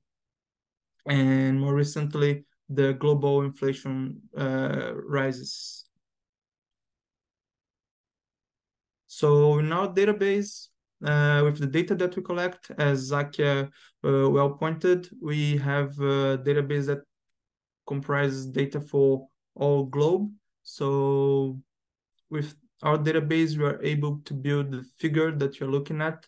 So this has gasoline prices in US dollars per liter for many countries in the world. And when you look at that, you can clearly see the different prices in dollars per liter in different regions of the globe. And for the MENA region, for example, uh, consumer is expected to pay an average uh, 43 uh, cents of dollar per liter, uh, whereas uh, a consumer in Jordan would pay 1.63, for example. And it's very important to point out that they represent a very significant parcel of country's GDP, accounting for around an average eight uh, between eight and ten percent. So, very quickly talking about our methodology here. Uh, when we talk about en energy energy prices, we are talking about end use prices, and these prices they are basically made of two main components, the ex-tax component and the total tax, in which the total tax is subdivided into VAT and excise taxes. So the excise taxes, they are usually uh, results of government's policies uh, and they are usually put in place for specific purposes. And they could be environmental taxes, uh, CO2 taxes, motor fuel taxes, and so on. And for example, sometimes we have different taxes for different energy products uh, or a single excise tax for most products, which is the case in, in Israel, with the only exception of electricity. And the main difference between the excise tax and the VAT, which you're going to see in the next slide, is that the excise taxes are divided on a volume basis, whereas the VAT is levied on value basis and it's applied to uh, 174 countries in the globe as of 2022. And it's usually refunded to intermediate customers as industry. And for some countries, we have uh, another tax that's an equivalency of that. But for the sake of our database, we include both of them, of them in the same in the same tax component. So speaking of our database, uh, database is basically divided into two main data sets. The first one is the energy prices that covers 141 countries in the globe. And the second one is the energy prices data set that's focused on OECD countries and has the taxation breakdown. So for most countries in MENA region, in our database, you'll find the total price, the end use price, but not necessarily the taxation breakdown, which is not something that's not necessarily always available. And we also have uh, complementary data sets, namely the monthly prices excerpt and energy prices taxation information. So just to give you uh, an example, here you see the data coverage in the database for mid-grade gasoline and electricity in 2022. Uh, from map, you can clearly see that uh, the coverage changes if you look at different products. So also, if you change the year, it's going to be different. And more specifically, if you change the time granularity. So for example, if you start looking at the monthly or weekly prices, you're gonna have a lower lower coverage than the one you're seeing in the screen for the same products. And if you zoom in the MENA region, uh, you see that we have a relatively good coverage for a few countries such as Algeria or Saudi Arabia, but uh, we still have uh, many room for improvements. And even the ones that we you get the data, as I mentioned before, we only have the taxation breakdown for OECD countries. So we could enhance our database by collecting more more taxation data. And but where where's that data coming from? Uh, and this is basically coming from official sources. So energy ministries, national statistical offices, central banks, and and so on, uh, or or even like direct submissions, or we get them from the websites, from the ministry's websites, or statistical offices websites, and so on. And usually, uh, the data are for the global database is available for residential, industry, and transport sectors. And here you see some uh, examples of sources. So the first one is the Statistic Tunisia. Uh, the second one is uh, Saudi Aramco for Saudi Arabia. Uh, another one is the Egypt Statistical Office. And finally, the Ministry of Energy and Mineral Resources of Jordan. So just going very quickly through some key points to remember. The first one is our concept of end use price, which is the price paid by the end use customer. Its base is basically made of two components, the ex-tax price and the total tax. And the total tax is made of value-added tax, VAT, or its equivalent, and excise tax. And when you talk about uh, specifically electricity and natural gas, it's extremely important to clarify that the end use prices that we're talking about is not the same as tariffs. So the tariff is usually a fixed rate at which the products are sold, and the end price they represent the average rate per physical unit or energy unit. So they include uh, more more components than the tariff like uh, taxation and uh, even the subsidies and rebates. So a few points that uh, I would like you to keep in mind. The first one is that this to set up the data collections might take time. The methodology is extremely important. So if you look at our website, uh, at the our data product website, you find the energy price documentation, which is basically a Word document that we describe everything that we do, how we collect the data, our sources or methodology. So this this is very important in terms of transparency, transparency, and also to give a solid ground to our users. And the third point here is that the taxation breakdown can help us and the world understand the prices collected. So, for example, if you you your government is establishing a new measure a new measurement that's going to cap the prices by reducing one component of taxation the taxation breakdown is going to therefore help you understand how this is being uh, filled by by the the end use consumer and another point is that here we deal with multiple prices and taxation frameworks.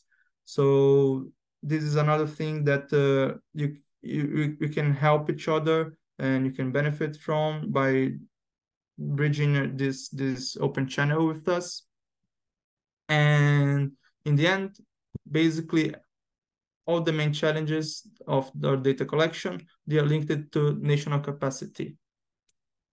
And given the relevance of energy prices, it's very important to structure uh, data collection and to build up the national capacity.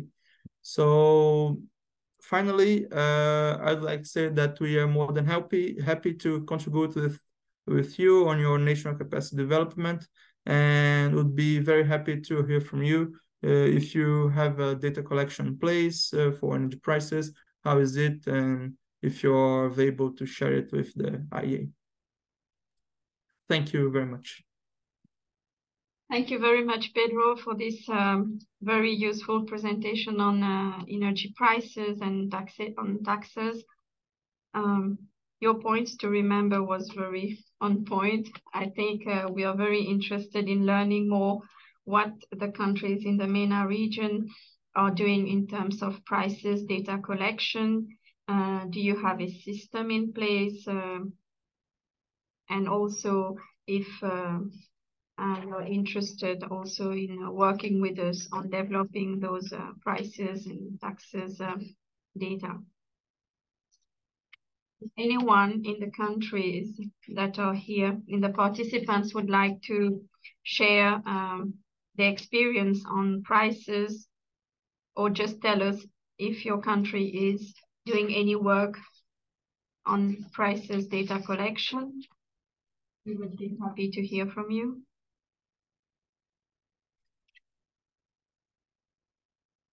Um,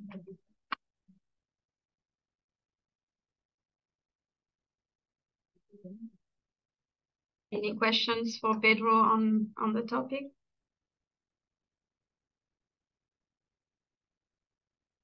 Everything was clear.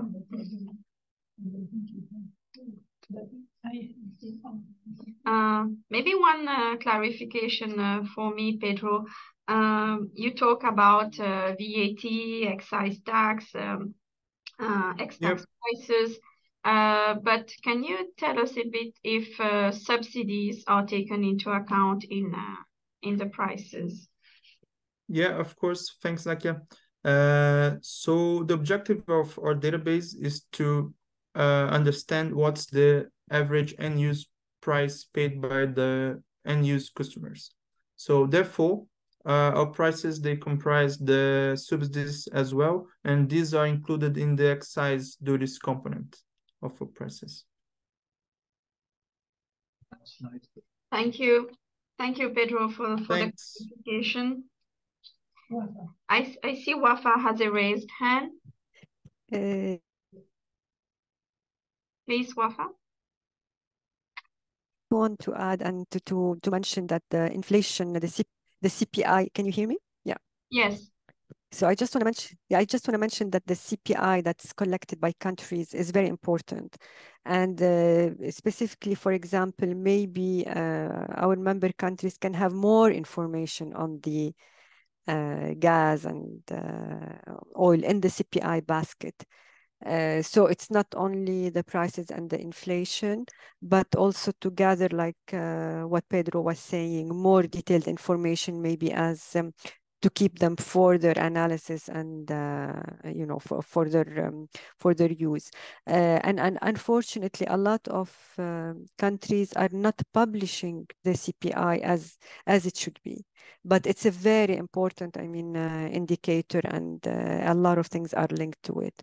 Uh, so just to encourage that more data on, on prices should be there. And what we presented on trade, on the values, if we don't have the prices, we can't get like the quantities and the um, uh, and the calorific uh, values and that. So this is very important to link all this data together. Thank you, dear. Thank you, Wafa, very much for, for this uh, point. Um, are there any participants that would like to contribute? Uh, otherwise, Pedro, uh, maybe you can run some of the Mentis uh, that you had prepared. Oh, I adapted them to the presentation as we were Oh. running out of time. Okay, Great, thank you. Um, okay, then I think we can move on uh, to the next uh, and last presentation uh, on our side. Um, so uh, it's really to continue with uh, with the inno innovative data collection strategies. Uh, so after the presentation from UN ESCWA on solar PV, uh, we also would like to present to you um, geospatial data, uh, which can also offer precise location and time data uh, to analyze various sectors and trend. And uh, today we have uh, Darlain Edeme, uh, Africa analyst at the IEA, uh, who will be able to talk more about the potential of geospatial data.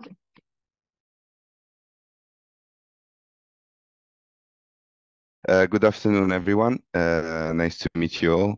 Uh, my name is Darlain. Uh, I work for, I'm Africa Energy Analyst, so my work is specifically focused on, on Africa here at the modeling team of the, of the IEA, but also my expertise is specifically on uh, GIS data, Geoinformation System data.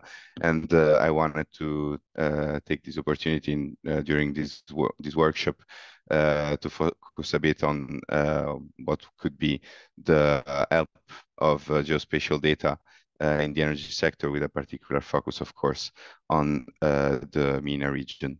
So the, okay. So first of all, um, the first point is that I'm really glad that I saw in the previous presentations uh, that GIS, GIS data were basically already almost um, introduced. Um, so uh, I think I will do a step back and just talk first on how what GIS data are.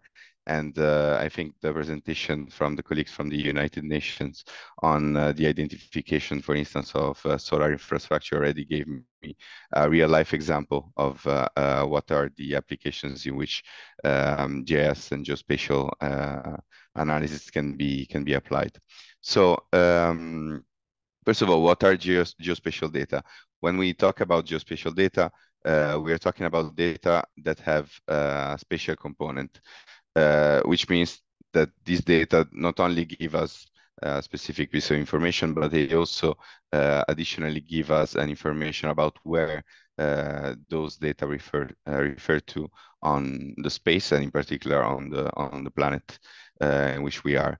So whether it's like locating a city or a map or plotting the course, for instance, of uh, migra migrating species, uh, this data brings uh, another dimension to our data set that most of the time can be like latitude and longitude um, and stuff we are all used to even outside, let's say, the energy sector. Um, what GIS does in practice, uh, it's it goes really beyond uh, plotting points and lines on, on, a map. It's just um, it's really a critical, let's say, decision-making tool that uh, is currently used across industries.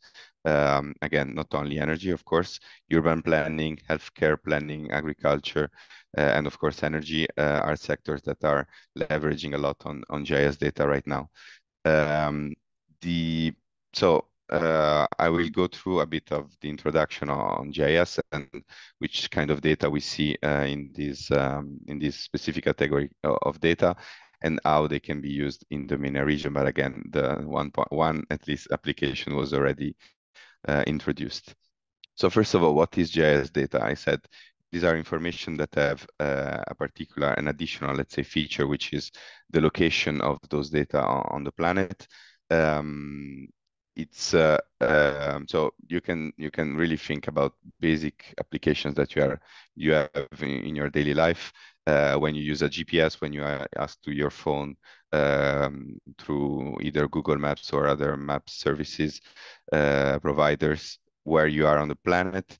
Uh, there are different there are specifically two types of of GIS data one are called vector data uh, which are then uh, classified in three different types of, of data.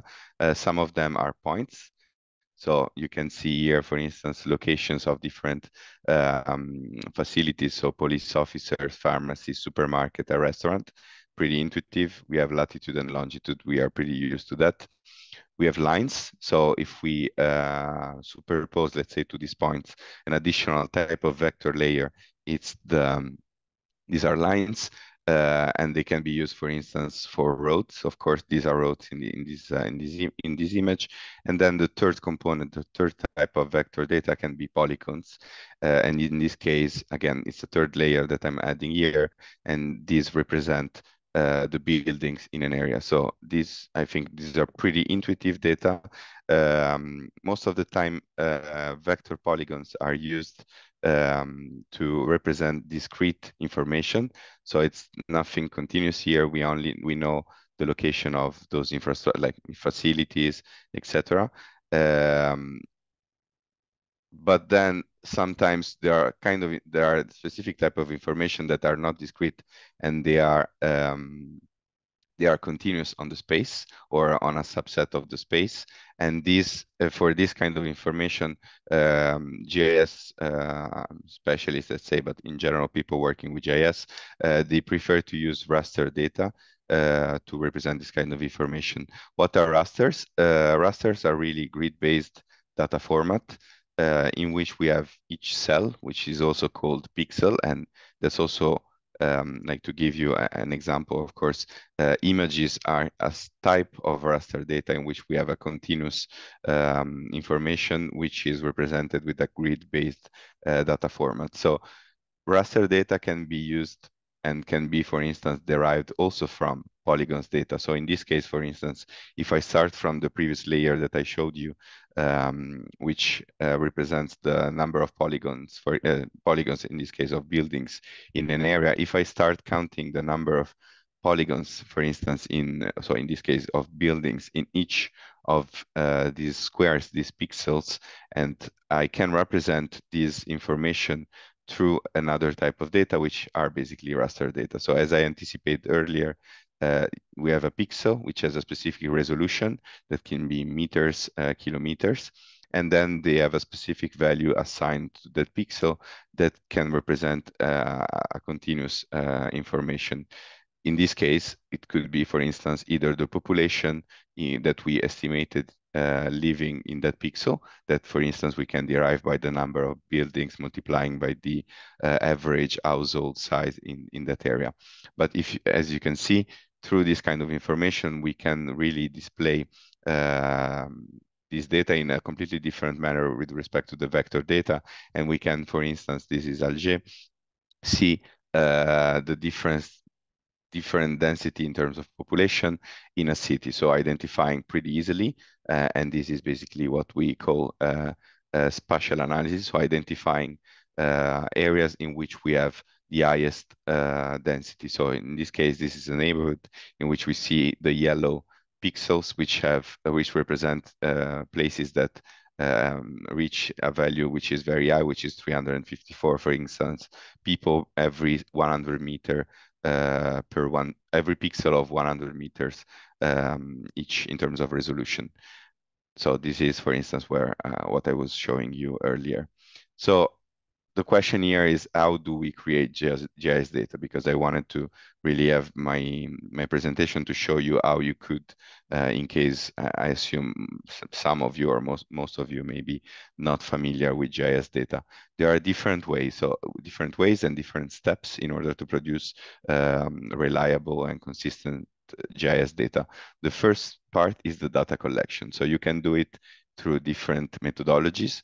Sometimes there are information that we can go uh, and identify, let's say, uh, by doing like going, let's say, on the field. So we have uh, what we do uh, in like what is done in, in many sectors, which is basically field surveys. So going uh, directly on the field with a GPS device, for instance, and geotag, doing what we call geotagging, which is basically um, identifying the latitude and longitude of a specific point in the space. Uh, we can have user-generated data.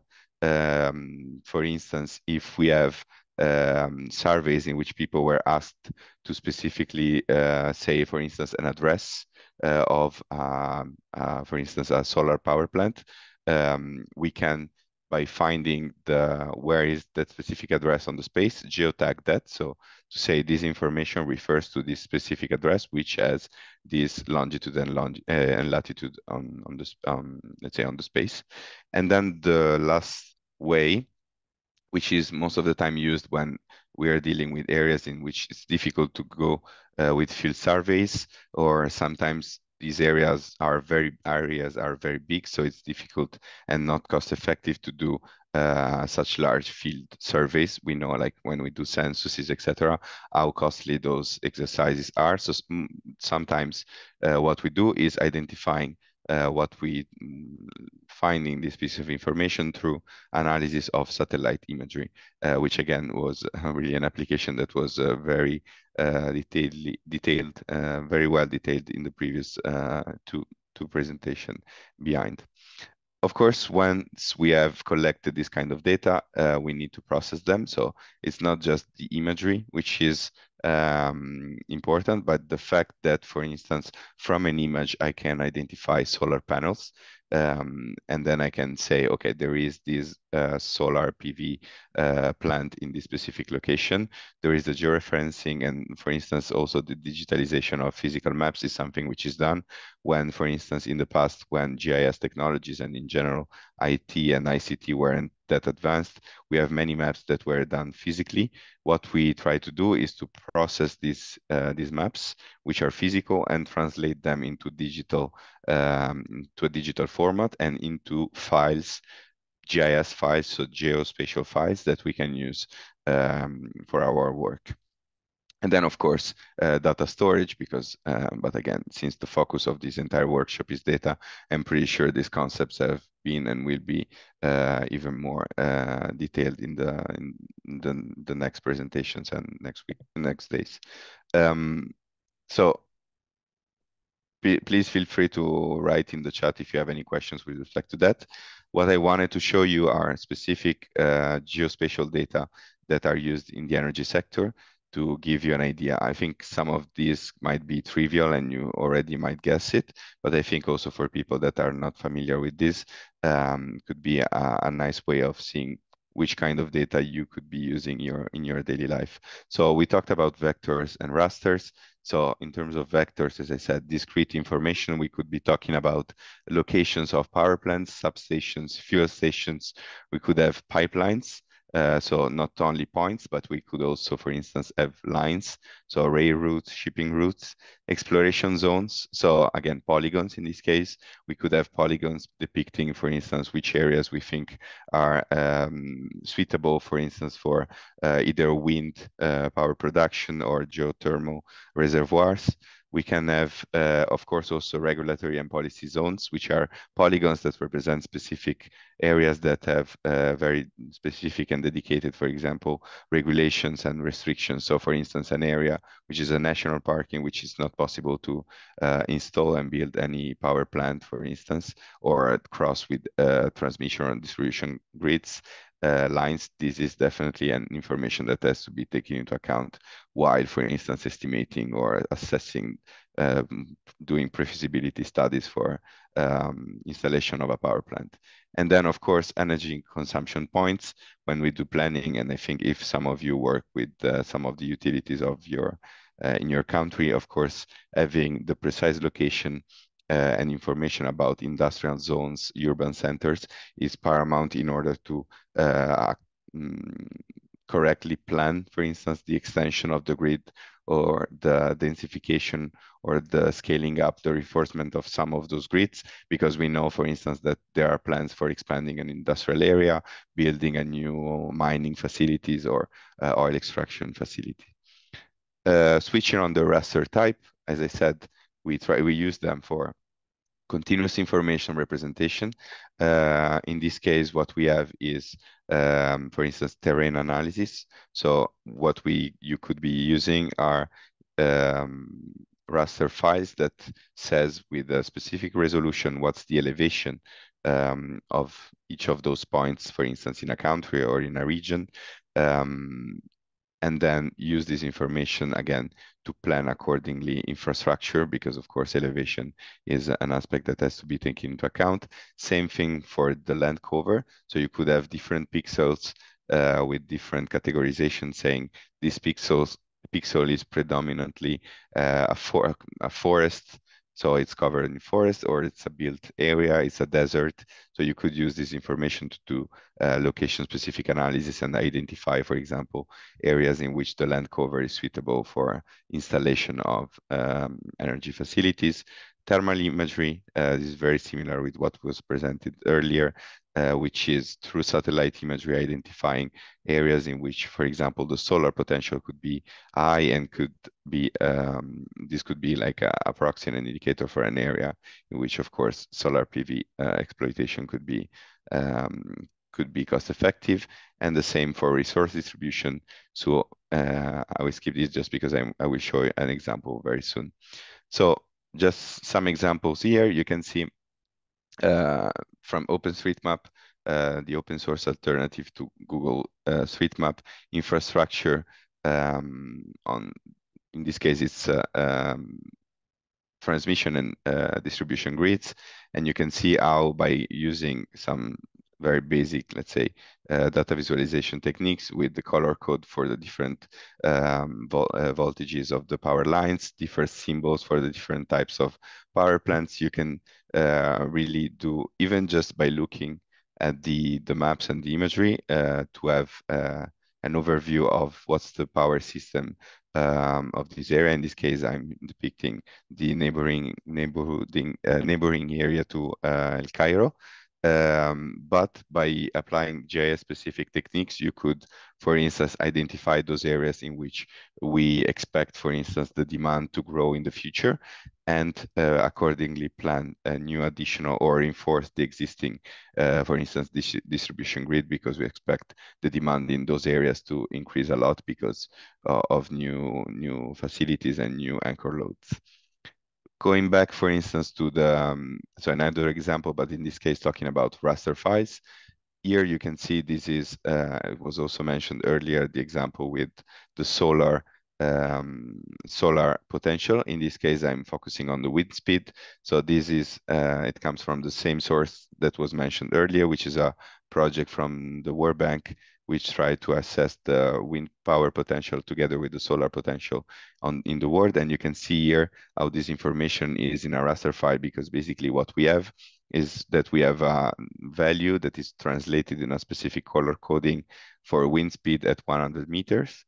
And you can see here the legend that goes from zero uh, to more or less uh, 10 meter per second in terms of, uh, of wind speed at 100 meters.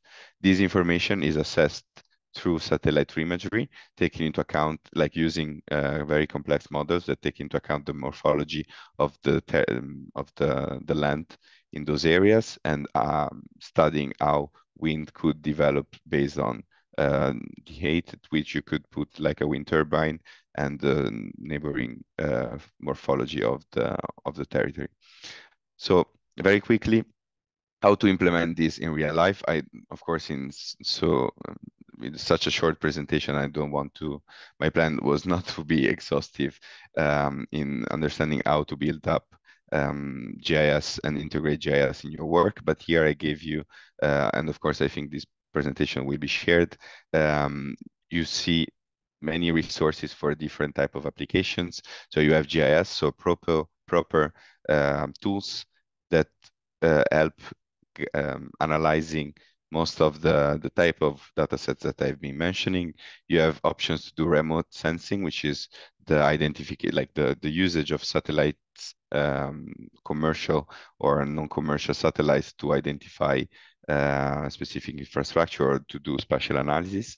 Spatial analysis, of course, so dedicated softwares uh, pieces of pieces of software that are dedicated to do um, customized analysis that sometimes maybe with uh, with softwares that have a predefined methodology, you can't completely customize and automate um, the work that you, you would like to do. And then other resources, for, for example, to create maps and visualizations, to obtain uh, data, GIS data. So here you have a very comprehensive list of resources that you could look at and then other relevant tools, for instance, to do uh, serve, like to, to create databases and to um, have servers that have been um, specifically designed and calibrated to work with GIS data and to GIS data processing.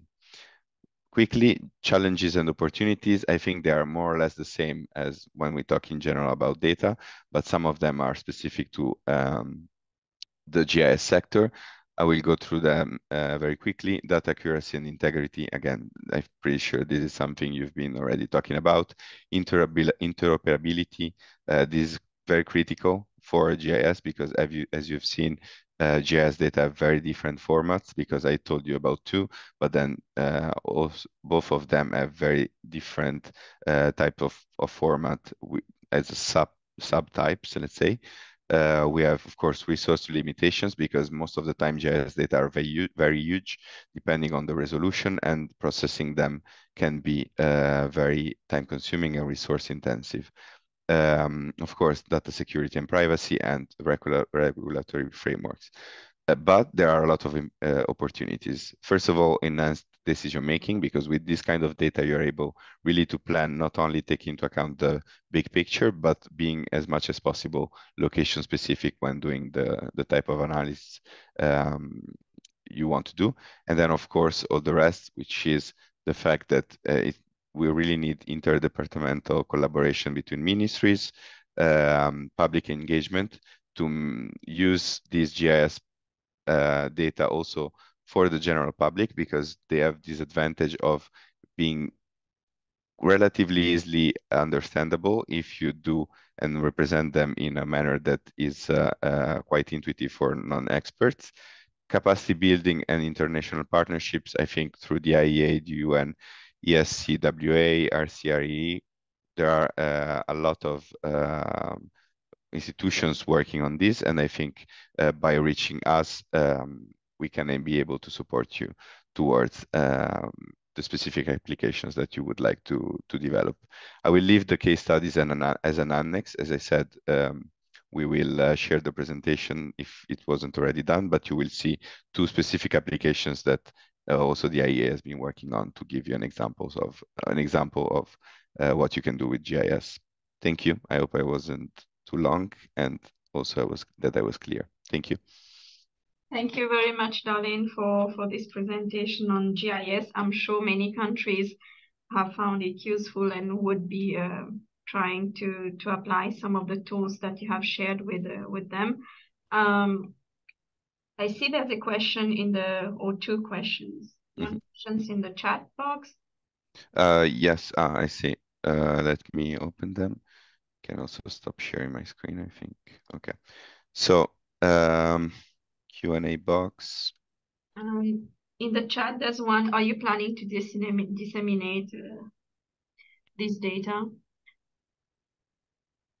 Okay. Um, so which I'm not sure which data you're referring to.